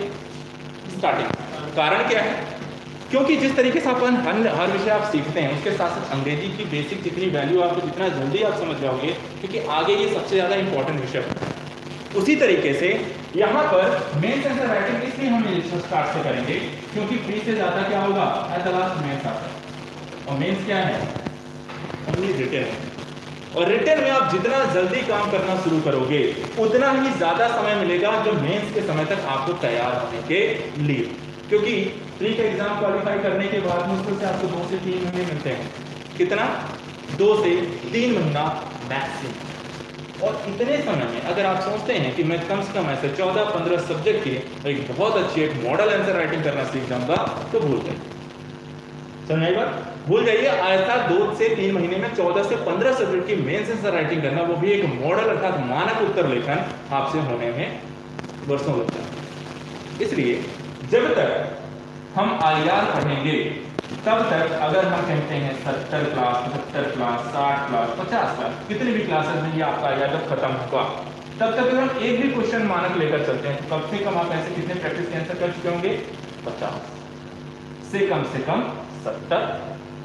और इतनी आंसर राइटिंग के बाद आपकी कुछ चीज़ें अच्छी हो जाएँगी। पहला, एक पढ़ने का तरीका आपका विकसित हो जाएगा। डेली आंसर राइटिंग करोगे तो डेली आंसर राइटिंग करने की प्रैक्टिस होगी। तीसरा आंसर राइटिंग करने में गलतियाँ कहाँ होती हैं किसी स्टूडेंट से? उसका। और चौथा सब्जेक्ट वाइज कहाँ पर डिफरेंसेस आ जाते हैं? आईआर में आंसर राइटिंग करते समय हमें किन बातों का ध्यान रखना है, जो कि इकोनॉमी या अन्य किसी सब्जेक्ट की आंसर राइटिंग में नहीं होता? इससे क्या होगा? टेक्निकलिटी आपको समझ में आएगी एक विषय के साथ। आंसर राइटिंग की टेक्निकलिटी भी आपको समझ में आएगी। आपकी नॉलेज अच्छी हो जाएगी। और सबसे ज़रूरी चीज़ कॉन्फिडेंस कॉन्फिडेंस अभी आता है जब आपके पास मालूम होगी जानकारी। हम बहुत लेट अगर प्रैक्टिस करना शुरू करें तो आपके साथ वाले क्या होंगे अगर आपसे आगे निकल जाए? यहाँ पे क्या है? कंपटीशन बहुत हाई है। और शुरुआत यही करनी है कि हम पहले स्तर पर, पहले चरण से ही हम अपने कंपटीशन के लेवल को उस लेवल से स्टार्ट करें, जहाँ पर लोग शायद सोचने से ये कर हैं। क्योंकि कई बार एक प्रैक्टिस होता है, लोग कहते हैं कि आंसर राइटिंग तब करनी चाहिए जब आपका समझ अच्छी हो। समझ जानते हैं आपकी समझ कब तक अच्छी होती है। आज की क्लास में आपको पता चला आपकी समझ कैसी आई है को लेकर। कैसी है? कितने नंबर देना चाहेंगे ज़ीरो से लेकर दस में? ईमानदारी से दीजिए, आप हमने आज कितनी है? ज़ीरो है। अब इस ज़ीरो में आप दस तक नहीं आ सकते। आ सकते हैं? भूल जाइए, अगर आप सोच रहे हैं मैं दस तक पार कर लूँगा तो नहीं हो पाएगा। आपको कितना आना है? कम से कम। क्योंकि अगर यहाँ तक आपने आपको लेकर आए और छह नंबर आप इसमें लेने शुरू कर दिए तो ऐसे बीस क्वेश्चन में आप कितने नंबर लेकर आ सकते हैं? एक सौ बीस। ऐसे चार क्वेश्चन अगर आपके मेंस में आते हैं, चार क्वेश्चन आता है। मेंस में कितने आते हैं? चार क्वेश्चन सेकंड पेपर में हर साल आता है। और चार क्वेश्चन अगर आपने छह स्कोर कर दिया तो कितना हो जाएगा? Twenty four number. और एक चीज़ ध्यान रखिएगा जीएस के सब्जेक्ट में किसी का भी स्कोर 120 130 मैक्सिमम होता है। कितने में? इससे ज़्यादा नहीं होता है। बहुत रेयर होता है कि 130 प्लस किसी का चला जाए किसी सब्जेक्ट में। नहीं तो ये स्कोर सौ से नीचे भी जाता है। और लोग क्वालिफाई करते हैं ऐसा नहीं क्वालिफाई वरना आपका टू थाउज़ेंड एटीन या नाइनटीन की स्टूडेंट थी और जो क्वालिफाई उन्होंने किया था रैंक थी आई थिंक थर्ड या फोर्थ थी उनकी उनके सेकंड पेपर में जो स्कोर था उनका था एटी नाइन कितना था? एटी नाइन जी एस में। लेकिन वो ऑल इंडिया टॉप जो रैंकिंग थी, वो थर्ड थी तो इसका मतलब ये नहीं कि आप किसी सब्जेक्ट में खराब स्कोर करते हैं, लेकिन हाँ आप जितना अच्छा स्कोर कर सकते हैं, उतना आप करने की कोशिश करिए, और वो स्कोर कितना होना चाहिए। कोशिश है कि आपका मानक कहाँ तक पहुँचे? छह तक। शुरुआत कहाँ से करनी है? ज़ीरो तो शुरुआत अगर ज़ीरो से करनी है और छह तक आना है तो मेहनत कहाँ से करनी है? ज़ीरो से शुरू करनी है। अब किसी दिन अगर आपको लगे कि आई आर आपकी अच्छी होने लगी, क्योंकि आई आर जानते क्या है? आई आर एक बहुत सारी अच्छी अच्छी कहानियों से भरपूर है। जब पिछली बार मैंने आई आर पढ़ाया था, जब भी बच्चे गए तो उनको आई आर बहुत मज़ा आया। उससे पहले भी मैंने कुछ सब्जेक्ट पढ़ाए थे, उनको उसमें मज़ा नहीं आया। लेकिन जब आई शुरू हुआ, उनको मज़ा आया। क्योंकि क्या है? जोड़ तोड़ जो कि आपके घर में जो फैमिली ड्रामे होते हैं पास पड़ोस में होते हैं, क्या होता है पास पड़ोस में या घर के में? लड़ाई झगड़े ठीक है? कोई एक दूसरे को फंसा रहा होता है, कोई एक दूसरे के साथ बेहतर संबंधों की और कोई मित्रता है तो कोई दुश्मनी वहाँ पर है, ठीक है? तो वहाँ पर आज़ाद भी यही चलता है। इसको लेकर एक हमने अभी बैठे बैठे मैंने एक पोट्री लिखी। पोट्री अगर आपको सुननी है, चलिए एक पोट्री सुनाता हूँ मैं। क्योंकि क्लास लेट हो रही थी तो मैंने कहा कि चलिए कुछ देखते हैं, कुछ बनाते हैं। तो मैंने एक पोट्री बनाई। इसको नाम दिया अंतर्राष्ट्रीय संबंध की कहानी। अब इसमें देखिए, इन शब्दों को पहले हम पहले इस पोट्री को पढ़ते हैं, फिर इस शब्दों का मतलब क्या है इस पोट्री का मैं समझाऊँगा। यहाँ कूटनीतिक दांव पेच से सधी विदेश नीति यहाँ दोस्ती नई और दुश्मनी पुरानी। अपनों से फजीहत गैरों से मिलती शाबाशी है। लोगों को लगता सब राजनीतिक घमाशानी यहाँ क्षेत्रीय अंतर्राष्ट्रीय संगठनों का मेला है, जिसमें कोई आर्थिक, कोई पर्यावरणीय, कोई रणनीतिक आयामों के कारण जुड़ा। कुछ अपने जा बसे विदेशों में हैं, अब उन्हें खुद से जोड़ने की मेहनत मशक्कत भारी। एक तरफ़ भौगोलिक रणनीति है तो दूसरी तरफ़ सामरिक संबंधों की सागरीय कहानी। इसमें युद्ध का दंश है तो नए संघर्षों का डर भी है। कुछ ऐसी अंतर्राष्ट्रीय संबंधों की कहानी। इसमें सब कुछ है। इसमें दोस्ती नहीं है, कहते दोस्ती नहीं क्या मतलब? इसराइल के साथ नए संबंध बन। गए अरब के साथ बेहतर संबंध बनने शुरू हो गए। तो दुश्मनी पुरानी। पाकिस्तान के साथ हम वर्षों से लड़ाई लड़ रहे हैं और वो आज भी यहाँ पर वैसे ही चल रही इसमें कूटनीति और विदेश नीति कूटनीति जो होती है, किसी दो देशों के बीच किस तरीके के संबंध होंगे, खराब हैं तो उन्हें अच्छे करने की कोशिश और अच्छे हैं तो और भी बेहतर करने की कोशिश के तहत होती है। लेकिन ये कूटनीति संचालित कौन करता है? विदेश नीति इसके अंतर्गत दो चीज़ें बहुत इंपॉर्टेंट हैं। भूगोल। अर्थात भौगोलिक रणनीति, अर्थात आपका जो स्थलीय क्षेत्र है और उसके साथ साथ जो सागरीय क्षेत्र है, उन दोनों को यहाँ पर इंपॉर्टेंस बहुत ज़्यादा मिलती है। भौगोलिक के तौर पर भारत की सीमाओं को देखिए तो एक तरफ़ यहाँ पर चाइना है तो दूसरी तरफ़ पाकिस्तान है, तीसरी तरफ़ आपका नेपाल, भूटान जैसे देश हैं। तो सागरीय स्तर पर देखें तो यहाँ पर आपका दक्षिण चीन सागर, हिंद महासागर जैसे इंपॉर्टेंट आपके क्षेत्र भी आपको इसमें दिखाई देते इसमें क्षेत्रीय और अंतर्राष्ट्रीय संगठनों के बहुत सारे चीज़ें पढ़नी पड़ती हैं। इसमें जी ट्वेंटी को ही देखें तो ऐसे छः से सात G twenty G seven G four G five G ten G fifteen को पढ़ना पड़ता है।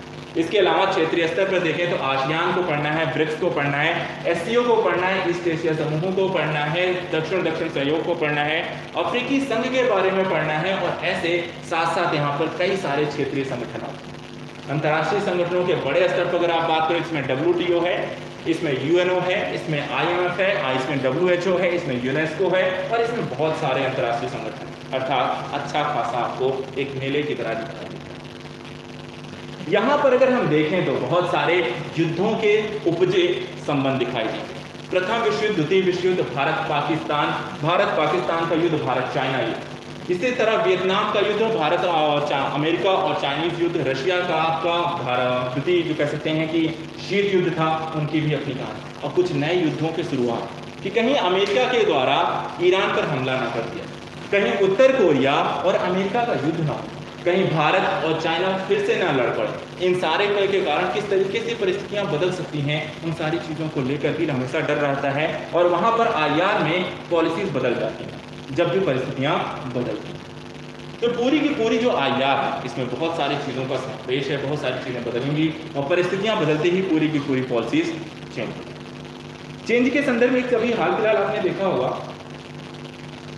कि भारत के द्वारा अपने जो संबंधों की बात करें तो ये तो भारत अपनी पॉलिसीज़ बदलता रहा है, लेकिन अमेरिका ने कुछ बहुत बड़ी क्रैक की क्रैक की है कि अरब और इसराइल फिलिस्तीन विवाद आपने सुने सुने हैं?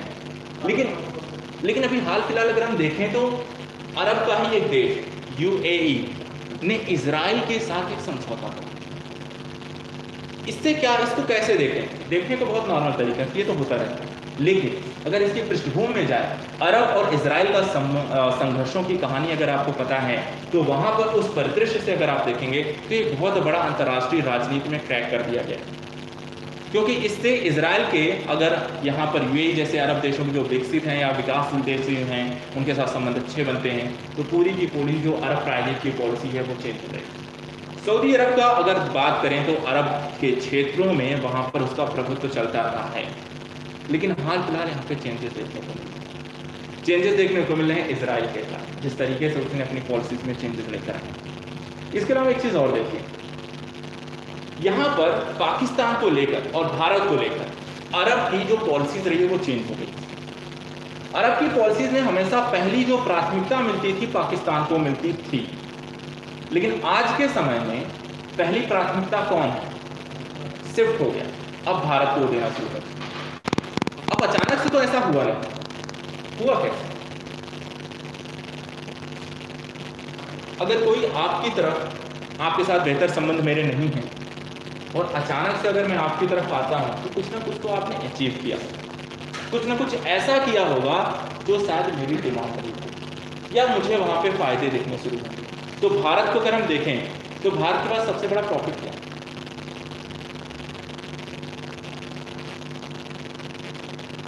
आज ये हमें सिर्फ़ अरब के दृष्टिकोण से मत सोचिएगा। वैश्विक दृष्टिकोण से सोचिए, आज भारत सबसे ज़्यादा इंपॉर्टेंस क्यों रखता है?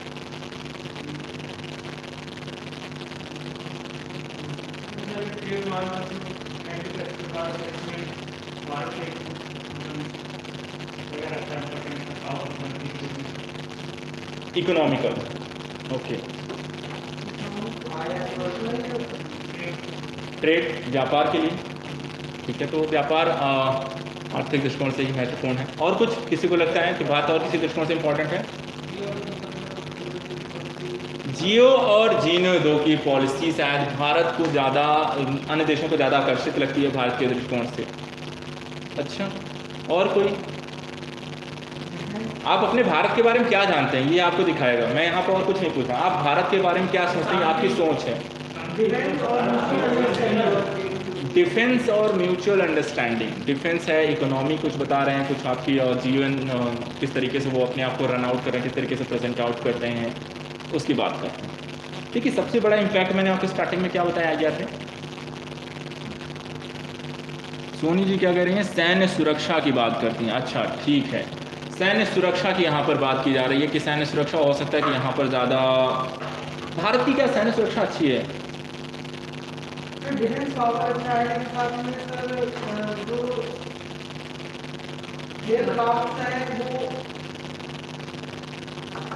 संख्या ज़्यादा है पर जैसे देखा जाए तो संख्या ज़्यादा है लेकिन अगर इक्विपमेंट के हिसाब से देखें और टेक्नोलॉजिकल बेस्ड आधार पर अगर हम देखें तो भारत शायद अपनी उतनी इक्विप्ड उतनी एडवांस जो टेक्नोलॉजी भारत के पास शायद नहीं है।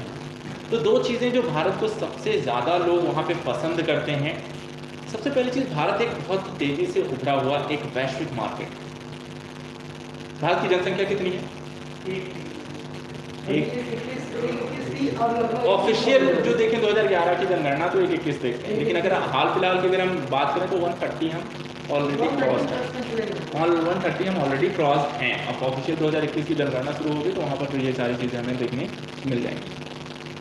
अब एक बात बताइए, इतनी बड़ी जनसंख्या 130 करोड़ से ज़्यादा की आबादी और हर एक व्यक्ति की, हर एक व्यक्ति की कितनी सारी वहाँ पर कह सकते हैं कि आवश्यकताएँ होती हैं नीड्स होती हैं। आप जिस घर में रहते हैं, वहाँ पे हर तरीके की चीज़ें होती हैं। और नहीं है तो आप चाहते हैं, है ना? अब इतने बड़े मार्केट को, जो कि कह सकते हैं विश्व का दूसरा सबसे बड़ा मार्केट है चाइना के बाद। दूसरा, चलिए चाइना के बाद मार्केट भारत की दो दूसरी सबसे बड़ी कमज़ोरी है। भारत इतना बड़ा मार्केट होने के बावजूद भारत यहाँ पर सबकी आवश्यकताओं की पूर्ति करने में सक्षम नहीं है। अर्थात एक बहुत बड़ा खाली जगह है दूसरे देशों के लिए कि वो आकर जिनके पास क्षमता है, क्षमता कैसी है? बेहतर टेक्नोलॉजी की है, सक्षम है, भारत से ज़्यादा उन्नत है, वो क्या कर सकते हैं? भारत के बाज़ार को वहाँ पर खपत का अपने संसाधनों के खपत का एक रास्ता बना सकते हैं। अब इस दृष्टिकोण से, आज के समय में सबके लिए सबसे ज़्यादा इंपॉर्टेंट क्या है? पैसा। एक आम व्यक्ति की बात करिए, एक देश की बात करिए, वैश्विक स्तर की बात करिए, किसी संगठन की बात करिए, उसको किसी भी चीज़ को रन करने के लिए क्या चाहिए? पैसा। आप कुछ भी बनाते हैं ऐतल आप या आप कुछ भी बनना चाहते हैं, आप जो जॉब की ओर देख रहे हैं ना, ये जॉब की आप क्यों पाना चाहते हैं? इकोनॉमिक सेटलमेंट होना बहुत ज़रूरी है। आप आई एस की तैयारी करते हैं। चलिए, एक बहुत बड़ी बात है। आप बहुत बड़े पोस्ट पे जाना चाहते हैं और आप सबके अगर आपसे मैं पूछूँ, जो कि पहली क्लास में बहुत ज़्यादा पूछा था इंटरव्यू में ये बहुत आम सा क्वेश्चन है, कि आप एक आई एस अधिकारी क्यों बनना चाहते हैं? सब एक बहुत कॉमन सा आंसर भी देते हैं। सेवा भाव, सामाजिक भाव, लोगों की सर भलाई करनी अपना कर रहे हो, दूसरों का क्या कर आप अपना देखते हो। लोगों की भलाई सेकेंड थॉट्स है। आप रखते ज़रूर हो प्राथमिकता तौर पर लेकिन जैसे ही वो पोस्ट आपको मिलती है, आप क्या करते हो? सिर्फ़ पहले मैं। पहला कौन? मैं। सरकार आपकी जेब भरना शुरू कर चुकी होती है। अकाउंट फिक्स सैलरी फिक्स है। शादी भी अगर नहीं हुई है तो बहुत अच्छी हो जाएगी। दहेज में अच्छा खासा चीज़, पैसे मिल जाएँगे। गाड़ी, बंगला, सब कुछ हो जाता है। इसके बाद भी संतोष। नाम का कोई व्यक्ति तो नहीं। संतोष नाम की जो भावना होती है, वो आपसे क्या हो जाती है? कोसो दूर है। और किसी के पास अगर है तो ये मैं कहना चाहता हूँ। इकोनॉमिक तौर पर के तौर पर तौर पर ज़रूरत पड़ती है की और भारत मार्केट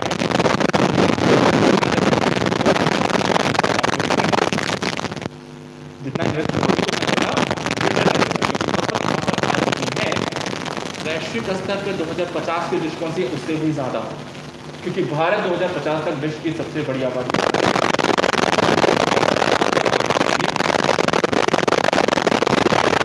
इसको पता है कि आगे चल आज का निवेश अगर मैं करता हूँ तो इसका हो सकता है पाँच गुना, दस गुना, पचास गुना, सौ गुना मुझे अगर रिटर्न देने वाला है तो कोई भी ऐसे देश से कोई भी दुश्मनी नहीं करेगा।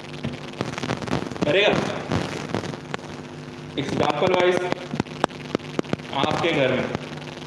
पैसा कमा के लाता कौन जो कमा के लाता है, वो सबसे इंपॉर्टेंट पर्सन जिससे आप बैर मोल नहीं ले सकते हैं। क्योंकि वो क्या कर सकता है? आपके आर्थिक संसाधनों को कट कर सकते और आप सर्वाइव में नहीं लाइक वाइज मम्मी या पापा होंगे। दोनों होते हैं। अगर दोनों हैं तो आप फ़ायदे में रहते हैं। कैसे रहते हैं? पैसे पैसे इसके पास गए तो उन्होंने नहीं दिया और उनके पास गए तो इन्होंने नहीं दिया। उसके बाद आपकी इनकम क्या होती है? डबल पॉकेट होती है। तो वो तो बंदा बहुत अमीर होता है। किसके बीच? फ्रेंड्स के बीच। आता है आता है। क्यों उसको पैसे की समझ नहीं होती। लेकिन वहीं एक गरीब बच्चा है, जिसको खाने के लिए भी पैसे नहीं होते। वो मेहनत, मजदूरी करता है और उसके वजह से चार पैसे का अगर लाता है तो चार पैसे में भी वो फैमिली को प्रायोरिटी का पैसा अपने खर्च नहीं करता, जाता है, घर में बड़ों के हाथ में द इम्पोर्टेंस पैसा बहुत इम्पोर्टेंट जिसके पास तो भारत कुल मिलाकर दृष्टिकोण से अगर हम देखें तो यहाँ पर ये बहुत इंपॉर्टेंट है। एक तो आर्थिक दूसरा क्या है? जितनी तेज़ी से आप आगे बढ़ते हो, उतनी ही तेज़ी से आपके आसपास जो लोग होते हैं, आपका विरोध करना शुरू कर देते होता है?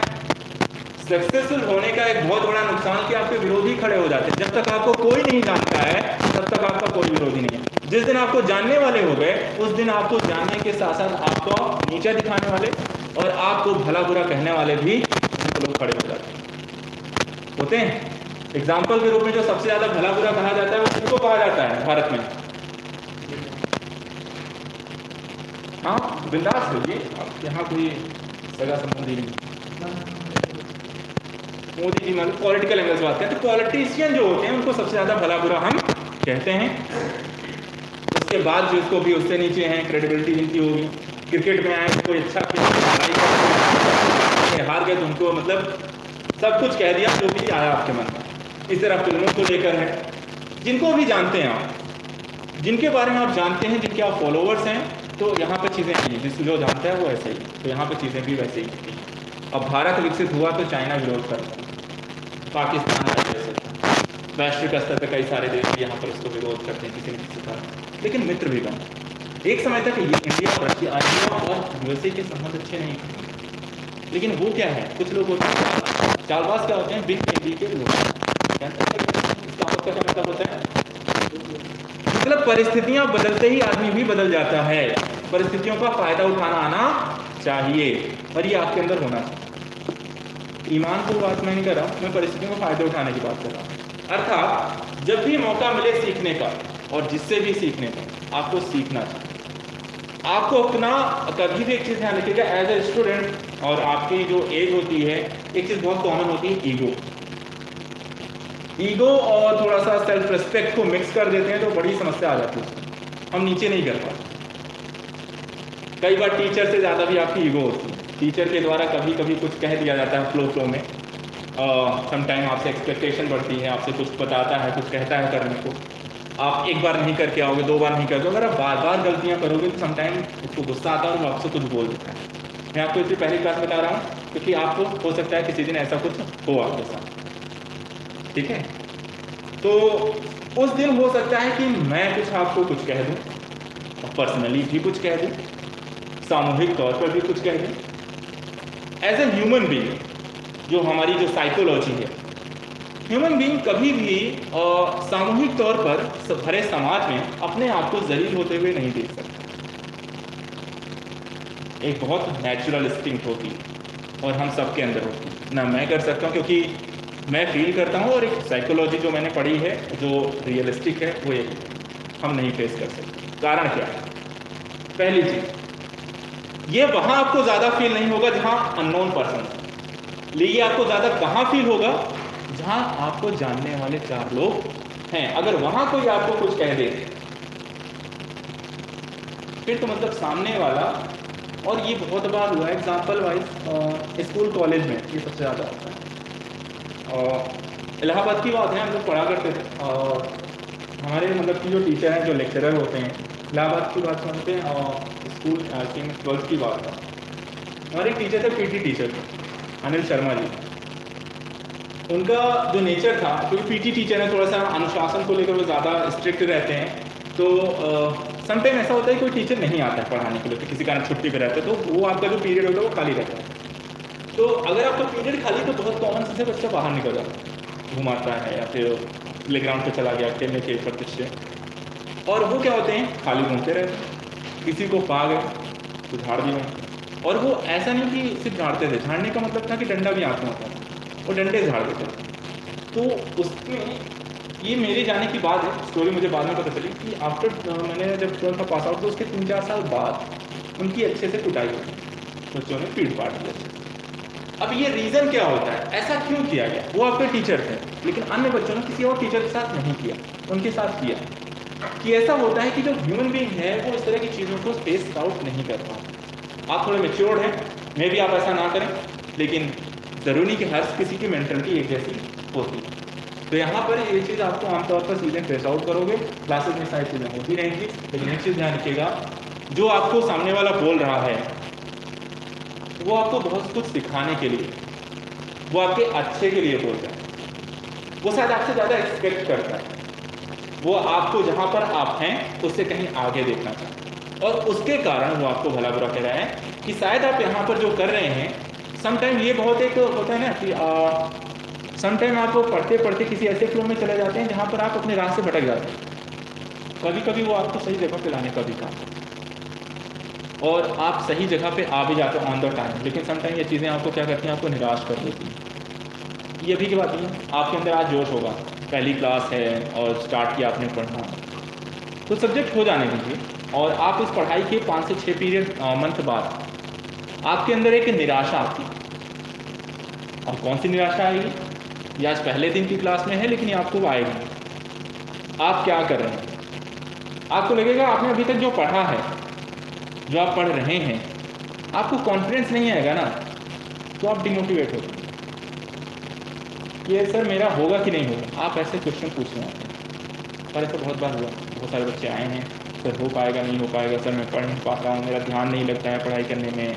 और सर दो घंटे, तीन घंटे लगातार स्टडी नहीं हो पाती, सर थक जाते हैं, नींद आने लगती है, और सर और क्या करना चाहिए? ऐसे बहुत सारी चीज़ें और ऐसा ऐसा दिमाग में क्यों आता है?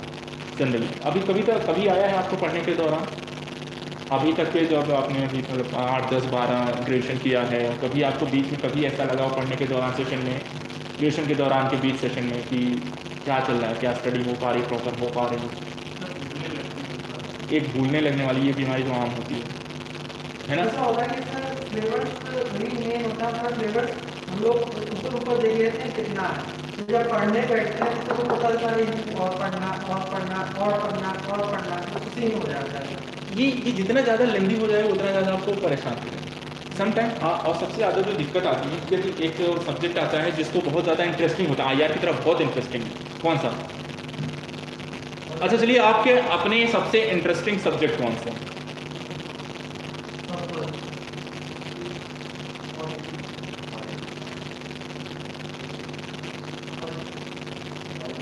मोस्टली पॉलिटी का देखिए समटाइम पॉलिटी अच्छी बात है, लेकिन पॉलिटी के अपने क्या है? सिद्धांत। सिद्धांत है रूल्स एंड रेगुलेशंस लेकिन सबसे अच्छी जो चीज़ आती है इसी को वॉइस की बहुत प्रॉब्लम जस्ट मिनट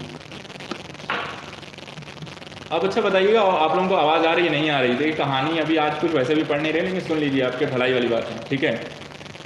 हाँ सोनी एकता जी, हिस्ट्री पॉलिटी, जिनको पॉलिटी है। देखिए, कहानी जब भी होती है एक ह्यूमन बींग की हम बात करें, आप छोटे बच्चे रहेंगे तो कहानियाँ सुनने हैं नानी से, नाना से दादा दादी से। कहानी क्यों सुनते हैं? आज के समय आप क्या फ्री टाइम में आप मूवीज़ देखने जाते होंगे? Friday first day first show या weekend Saturday Sunday some time नहीं करते हैं? बहुत ज़्यादा पढ़ाते हैं क्या? आ, दो चीज़ें आती हैं। मूवी नहीं देखते हैं तो क्यों नहीं देखते हैं? और उसके दो रीज़न होते हैं। सम टाइम आप पढ़ने के कारण सम टाइम इकोनॉमिकल इश्यूज़ भी होते हैं। स्टूडेंट में मोस्टली इकोनॉमिकल इश्यूज़ आती हैं। पढ़ने को लेकर आदमी अगर सीरियस नहीं भी है तो एक स्टूडेंट एज अ टीचर मैं खुद कहता हूँ कि बहुत ज़्यादा पढ़ने की ज़रूरत नहीं एक डेली रूटीन के बारे में चर्चा करेंगे। कल बताइए। वर्कशॉप में? एक चीज़ ध्यान रखिएगा, आपकी साइकिल में रूटीन जो डेली बेसिस के रिटर्न साइकिल होती है। एंटरटेनमेंट ज़रूर रखिए एंटरटेनमेंट कुछ भी हो सकता है। जिसमें एंटरटेनमेंट का मतलब समझते हैं क्या है? आप हर व्यक्ति के लिए एंटरटेनमेंट का मतलब अलग हो सकता है, एक चीज़ ध्यान रखिए एंटरटेनमेंट एंटरटेन होने का क्या मतलब है? कि आप जिसमें खुश रह सकते हैं। अपने आप को मतलब कि बाकी सारी चीज़ों से अलग करके रहे हैप्पी हो सकते हैं कोई चीज़ देखने के बाद, करने के बाद। और सारे जो तनाव हैं आपके, वो दूर हो जाते हैं। अगर आपको कोई ऐसा काम करना है तो वो मतलब आपका एंटरटेनमेंट हो। गया समटाइम लोग ऐसा करने के लिए अलग अलग चीज़ें करते हैं। कुछ लोग एक्सरसाइज करना पसंद करते हैं। कुछ लोग मूवीज़ देखना पसंद करते हैं। कुछ लोगों को घूमना पसंद हो सकता है। किसी लोगों को योगा करना है। किसी लोगों को ट्रैकिंग करनी है। कुछ भी हो सकता है, जहाँ पर आप अपने आप को एंटरटेन कर पाएँ और जो भी प्रॉब्लम चल रही हैं, उससे कुछ समय के लिए उन सारी चीज़ें आप भूल जाएँ। कारण क्या है? कोई भी काम आप डेली बेसिस पे रोज सेम चीज़ सेम डे पर सेम टाइम पर डेली करिए एक चीज़ आती है, उसको हम कहते हैं बोरियत सेम लाइफ आपकी हो जाएगी। नाइन टू फोर थर्टी की क्लास होगी डेली बेसिस पे। आप डेली आएँगे, पाँच दिन आएँगे। अगर हम आपको पाँच दिन के बजाय सात दिन लगातार बुलाने लगे। पाँच के दिन के बजाय हम सात दिन आपको डेली बुलाने लगे। और आपका सेम पीरियड बने। आप यहाँ से जाने के बाद, चार क्लासेस करने के बाद, चारों अलग अलग सब्जेक्ट करने के बाद, आपका जो दिमाग होगा ना, वो क्या हो जाएगा? काम करने लायक बचेगा? मोस्टली नहीं। दूसरी चीज़ क्या है? सब्जेक्ट ऐसे हैं। एक ज्योग्राफी पढ़ाएँगे, एक साइंस टेक चलेगा, फिर एथिक्स चलेगा। आ या थोड़ा सही ज़्यादा कुछ नहीं, कहानी है, पढ़ लेकिन एथिक्स सिद्धांत, मूल्यों की कहानी इतना सब कुछ सिखा दिया जाएगा कि आपको मतलब लगे कि घर यहाँ से बाहर निकलते ही दान पुण्य, दया कर्म सब करना शुरू कर देंगे लेकिन ऐसा होता नहीं बेसिकली सिद्धांत, मूल कहानियाँ, नैतिकता सिर्फ़ क्लास के अंदर होती हैं। क्लास के बाहर जाते ही चीज़ें बहुत ज़्यादा तूफ़ान में रहो तो ज़्यादा से ज़्यादा कुछ करना नहीं। समटाइम लोगों को अच्छा भी नहीं लगता। है तो मतलब दान पुण्य करना है पता लगा कोई आता जाता पकड़ने भैया लो, चार पैसे रख लो, काम आएगा। तो ऐसा भी नहीं करता। दूसरी तरफ़ साइंस टेक पढ़ने के बाद लगता है कि आदमी साइंस साइंटिस्ट तो बन ही गया मतलब आज। आज घर में जाएँगे तो कोई ना कोई जेनेटिक्स खोज कर देंगे और कल मतलब कि बूढ़ा होना कल से बंद, परसों से मतलब साइंस टेक मतलब मोबाइल को पता नहीं क्या बना देंगे। और ज्योग्राफी का मतलब ऐसा हुआ कि क्या? कि हर चीज़ में ज्योग्राफी देखना शुरू कर देता है। ये यहाँ यार, यहाँ जो घर बना होगा यहाँ पहले कुछ और रहा होगा ये कैसे यहाँ पे बना होगा है ना? मिट्टी थी खेत था खलिहान था, ये सारी चीज़ें जलवायु था मतलब आदमी अलग ही फ्लो में चला गया तो ये सारी चीज़ें क्या हैं? प्रैक्टिकल होना अच्छी बात। लेकिन ज़रूरत से ज़्यादा होना अच्छी बात नहीं है। तो संयमित रहिए, सब काम करेगा। तो मेरे कहने का मतलब एंटरटेनमेंट ज़रूरत है अपनी डेली रूटीन को एक सेट करेंगे। नाइन टू फाइव तो हम आपको पाँच दिन का देंगे। इसमें तो आपको कुछ करने की ज़रूरत नहीं है। आनी है क्लास करनी है। घर पे जाने के बाद एक चीज़ आपसे जो कहा जाता है कि डेली यहाँ से जाने के बाद रिवीजन कर लीजिएगा। ये सिद्धांत है या प्रैक्टिकल है? हाँ? कितने लोग कहते हैं ये प्रैक्टिकल? है। साइकोलॉजी कहती है। साइकोलॉजी बहुत कुछ कहती है। तो हम साइकोलॉजिस्ट के स्टूडेंट नहीं हैं। साइकोलॉजी जब आप पढ़ते हैं तो वहाँ पर बहुत सारी कुछ कहती है। साइकोलॉजिकल फैक्ट बहुत कुछ कहते हैं। साइकोलॉजिकल फैक्ट ये भी कहता है कि ह्यूमन बीइंग के काम करने की जो क्षमता, और काम करने का जो तरीका, वो असीमित है। असीमित होने के साथ साथ उसके प्रयोग करने की जो क्षमता है, अगर वो तरीका सही नहीं है तो आप फिर वहाँ से परेशान हो। सकते नाइन टू फाइव प्रैक्टिकल है, पढ़ सकते हो, लेकिन यहाँ से जाने के बाद आपको एक काम करना है रिवीजन अब रिवीजन करोगे कौन जो लिखाया गया होगा, आपकी कॉपी में लिखाया गया होगा। बेसिकली बहुत ज़्यादा कुछ लिखा नहीं होगा। आई थिंक तीन से चार पेज से ज़्यादा आप डेली कभी लिखोगे नहीं। और हर सब्जेक्ट का मिला लो तो मोस्टली आपके चार क्लास के बाद बीस पेजेस होंगे। पढ़ने के लिए बीस पेजेस आपकी रीडिंग क्षमता एक घंटे बीस पेज तो होगी। है ना? इस समय है नहीं है। एक घंटे बीस पेज पढ़ लेते हैं। कितने लोग नहीं पढ़ पाते एक ओनली एक चलो ठीक है फिर। एक घंटे में बीस पेज अगर आप पढ़ लेते हैं तो एक घंटे काम। और जो आप सुबह से शाम तक और अगले दिन क्लास में आने के बाद मुझसे पहले तक, एक घंटा कभी भी आप निकाल सकते। कितने लोग यहाँ अकेले रह आए हैं, रहने आए हैं रूम लेकर? कौन फैमिली में साथ रह रहा है? अच्छा दो लोग साथ में रह रहे हैं। एक चीज़ और आती है आपकी डेली लाइफ खाना बनाना, है ना? खाना बनाना, राशन लेना, मोल भाव करना और धीरे धीरे गृहस्थी बसा लेना और प्रैक्टिस हो जाती है। आजकल यही कहा जाता है कि शादी वादी जब आपकी होनी शुरू हो जाती है तो वहाँ पे कहता है, अगर बच्चे ने ये कह दिया, लड़के ने कहते खाना वाना बना हैं तो जो सास ससुर होते हैं, वो भी टेंशन नहीं रहते कि लड़की को नहीं बनाना आता है तो कोई बात नहीं, लड़के तो को तो आता है, दोनों कर लेंगे आपस में समझ पूछ के। और अब लड़के को क्या है? लड़का मजबूरी में करता है, कि जानबूझ के करते हैं आपको। आपको सहूलियत मिल जाए तो आप कभी ना करें, लेकिन क्या करें? मजबूरी कि बनाना पड़ेगा, क्योंकि आपका जो ये वो परेशान करता है। तो एक चीज़ ध्यान रखें, एक प्रॉपर तीन चीज़ ध्यान रखें। Study proper eating proper food कोई भी किसी भी दिन आप लोग पैसे बचाने के चक्कर में या एक्स्ट्रा कहीं खर्च भी मत करिएगा। जो फ़ूड लीजिएगा, वो प्रॉपर न्यूट्रिशन बेस्ड होना चाहिए और वो आपको बहुत सस्ती सस्ती चीज़ों में भी मिल जाता है। उसके लिए आपको बहुत ज़्यादा किसी जिम या डाइट वाली की चीज़ों को नहीं रखना है। बहुत सिंपल सी चीज़ें आप रखोगे, आपके खाने में दाल, चावल, सब्ज़ी, रोटी प्रॉपर वे में रखोगे, सब कुछ मिल जाता है। ठीक है? और तीसरी चीज़ जो आपको करनी है स्लीपिंग एक प्रॉपर स्लीपिंग टाइम होना चाहिए। मिनिमम जो एक साइंटिफिक रीजन कहता है वैसे आई एस पी की तैयारी करने वाले बच्चे या इंटरव्यू अगर आप देखें तो कहते हैं चार घंटे सोते थे, तीन घंटे सोते थे, दो घंटे या पाँच पाँच घंटे। कोई तो कहता है आठ घंटे, नौ घंटे भी वो सोता था, उसका हो गया। तो हमारे सामने तो विरोधाभास हो गया ना, कि सर आठ घंटा सो कि चार घंटा सो? ये तो कंफ्यूज करते हैं ये लोग। तो इसका मतलब क्या हुआ? हर एक व्यक्ति की क्षमता क्या है? अलग अलग हर एक व्यक्ति की बौद्धिक क्षमता भी अलग अलग तो यहाँ पर एक प्रॉपर खाना और एक प्रॉपर स्टडी के बाद जो समय आपका बचता है, उसको आप एक अच्छी नींद में कन्वर्ट करिए जितना माइंड जो होता है स्ट्रेस कह सकते हैं वहाँ पे नहीं होगा, उतना ही अच्छा आप अच्छे स्टडी कर पाओगे। और अच्छे से स्टडी करने के लिए और माइंड जो होता है स्ट्रेस ना ले, इसके लिए अच्छा खाना अच्छा न्यूट्रिशन आपके को डेली मिलना चाहिए। बस ये तीन चीज़ करेंगे चौबीस घंटे को तीन चीज़ों में डिवाइड करें खाने के लिए समय कब होगा? कितने बजे का होगा? दूसरा, पढ़ने का मेरा कहाँ से कहाँ तक का समय? उसके बाद जितना बढ़ता है वो किसके लिए है? स्लीपिंग के लिए। Monday to Friday Saturday Sunday दो दिन एक्स्ट्रा मिले ये रूटीन क्या होगा? मंडे टू फ्राइडे को सैटरडे और संडे का जो टाइम होगा, उसमें एक जगह होनी चाहिए एंटरटेनमेंट और अगर आपके पास कोई बेस नहीं है एंटरटेनमेंट का तो कुछ कुछ जनरेट करिए एक आपका जो फॉर्म आप भरोगे उसमें आता है हॉबीज आती है। हॉबीज कुछ ना कुछ तो लिखोगे। नहीं है कोई हॉबीज तो जनरेट करना शुरू करो। हॉबीज का मतलब क्या होता है? खाली टाइम में आपको क्या करना पसंद? खाली टाइम में आपको क्या करना पसंद है? उसी वही धीरे धीरे क्या हो जाती है? जनरेट हो जाती कि आप जब भी खाली टाइम पाए, आपने वो काम करना शुरू कर दिया। किसी को हुआ, खाली टाइम मिला तो वो कहा कि कुछ नॉवल लिखना है, किसी को पोइट्री करनी है किसी को म्यूज़िक सुनना या गाना या प्रैक्टिस करना किसी को डांस करना पसंद आता है किसी को स्विमिंग या जिमनास्टिक या जिम करना पसंद है तो कुछ भी खाली टाइम में आप कहाँ अपना स्पेंड करते हैं?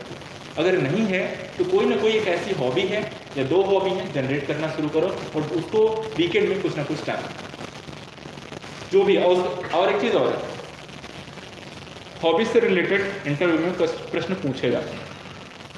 और उसकी जितनी डीप नॉलेज आपके पास होगी उतना अच्छा है। एग्ज़ाम्पल वाइज मान लीजिए किसी को गाना सुनना पसंद। है समटाइम गाने कितने प्रकार के होते हैं? किस टाइप का गाना सुनना आपको पसंद? है उससे रिलेटेड कोई सॉन्ग बताइए। कौन कौन से सिंगर आपको पसंद? है उनका कौन सा गाना आपको पसंद? है किस मूवी में ये गाना उन्होंने गाया था? इसके संगीतकार कौन है वो भी इसका मतलब ये हुआ कि आप जिसके बारे में जानना चाहते हैं, सब कुछ जान लेते हैं। जैसे किसी को क्रिकेट बहुत पसंद होता है है ना? तो क्रिकेट वाले क्या है? कितने वर्ल्ड कप हो चुके हैं, किसने जीता है, सबसे ज़्यादा रन किसने बनाए, किस बैट्समैन सबसे ज़्यादा विकेट किसने ली हैं? वो क्या है? हॉबीज़ का मतलब ये नहीं हुआ कि सिर्फ़ आपको डेवलप करनी है, बल्कि अपनी हॉबीज़ के बारे में आपको हर तरीके की जानकारी होनी चाहिए और डीप जानकारी तो बैठे हो, एक घंटा निकाला है, आपकी जो हॉबीज़ उसके बारे में गूगल पे सर्च कर पढ़ लो, उसके बारे में कुछ ना कुछ। और ये चीज़ें क्या है? ये चीज़ नहीं भूलोगे। किताब से इतर जितनी चीज़ें आप पढ़ोगे नहीं भूलोगे एक सिंपल से एग्जांपल कोई भी मूवी आपने जो देखी हो मोस्टली एक भी बार अगर आपने देखी है तो उसकी मोस्टली चीज़ें आपको याद है। क्यों? क्यों? सम हाँ एक तो होता है चित्र जो कि साइंस कहता है कि ह्यूमन का जो माइंड होता है, वो सबसे ज़्यादा जो लंबे समय तक चीज़ें याद रख पाता है, वो होता है चित्र जो उसकी समझ है। वो कैसी है, चित्रात्मक समझ होती। तो वहाँ पर आपको ये चीज़ें क्या होती है, ज़्यादा लंबे समय तक याद रहती दूसरा क्या है? साउंड जो चीज़ें आपके सामने हो रही हैं, उससे रिलेटेड कुछ ना कुछ आपके दिमाग में सुनने को मिल रहा है लगातार। आप उस पर हँसते हो, रोते हो समटाइम आपको वहाँ पे शांत हो जाते हो। कभी कभी बहुत दुखी हो जाते हो। और उसके बाद डिस्कशन होता है उससे रिलेटेड परिवार कुछ होगा? आपको वो डिस्कस करते हैं। यार, इस सीन में वो ऐसा ऐसा उसने कहा। रिवीजन होता है। अगर यही चीज़ जस्ट मूवी वाला, अगर आप क्लासरूम में करने लगे तो आधा घंटा जैसे आपकी क्लास हुई, डेढ़ घंटे की हुई ब्रेक हुआ, आगे चल के आप आपस में जल्ड हो जाओगे, दोस्त बन जाओगे फ्रेंडशिप हो जाएँगे। बाहर गए, खाना खाते खाते आपने डिस्कस कर लिया। अच्छा वो टॉपिक क्या था? उसका क्या मतलब हुआ था? किस किस एग्ज़ाम्पल से रिलेट था ये आपने एक बार डिस्कस कर लिया ना तो घर जाके जो कह रहे हैं रिवीजन करना है, नहीं करनी पड़ेगी। जस्ट स्टडी फिनिश की जस्ट क्लास खत्म की, आधा घंटा गया आपने डिस्कस कर लिया खाना खाने खाते या डिस्कस करके चाय पीते पीते खड़े होते आधे घंटे, वहीं रिवीजन होगा। नौ से पाँच बजे तक में आपने सब कुछ पढ़ लिया, आपने सब कुछ डिस्कस कर लिया, आपको घर जाके क्या करना है? कुछ भी ना करें स्टडी को बुक को हाथ भी ना लगाएँ, आपका काम हो गया। अगर उसके बाद भी ज़रूरत पड़ती तो एक बार देख लिया और आपका काम बहुत अच्छे से फिनिश हो बहुत अच्छे से फिनिश हो गया पढ़ना कब जाने के तुरंत बाद? कुछ घंटे बाद? सोने से पहले? या सुबह उठ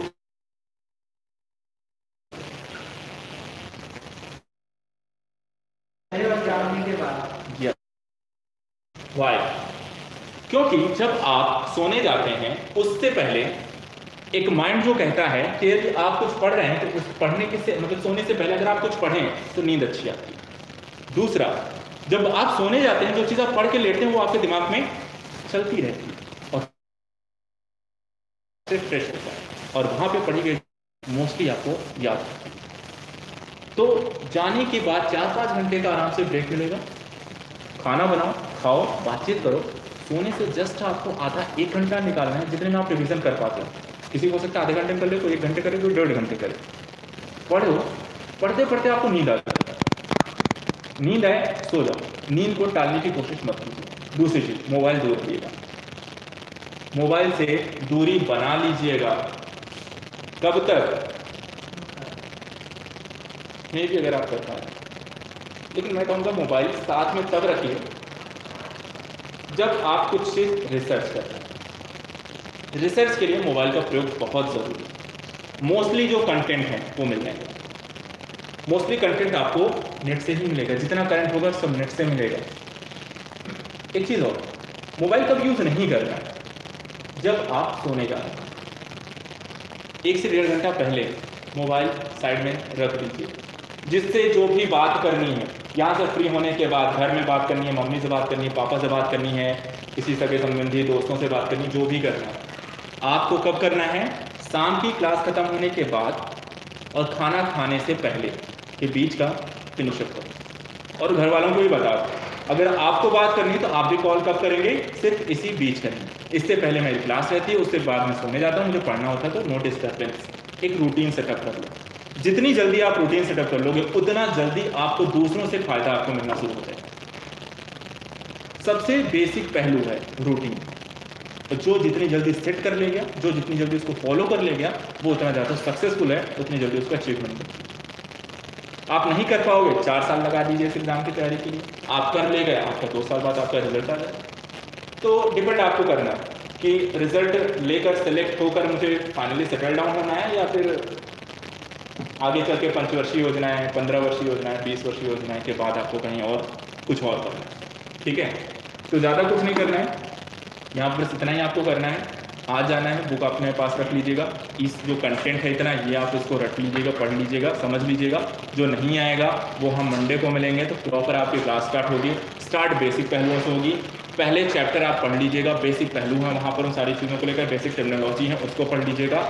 और मंडे को एक प्रॉपर नोट्स अपने पास रखिएगा। कुछ चीज़ें हैं कंटेंट है, मैं आपको लिखाऊँगा, कुछ चीज़ें मैं आपको सिर्फ़ समझाऊँगा, लिखाऊँगा नहीं। जो नहीं लिखाऊँगा, उसका कंटेंट आपको मिल जाएगा उसको जाना है रीडिंग भर कर लेंगे समझने के तौर पर आपको समझा दूँगा सारा, है ना? तो जितनी नई चीज़ें डेवलप हुई होंगी, वो सब हम लिखेंगे। जितनी पुरानी हैं, या फिर बहुत ज़्यादा कह सकते हैं, पढ़ चुके हैं, या पहले से हैं बुक्स में हैं, वो सब हम लिखेंगे नहीं। वो सब आपको बता दी जाएँगे, उनको आप हाईलाइट कर लीजिएगा, वो आप अपना रीडिंग मार लीजिएगा दूसरी चीज़, ऐसा क्यों? पुरानी चीज़ें सिर्फ़ आपके बेस के लिए।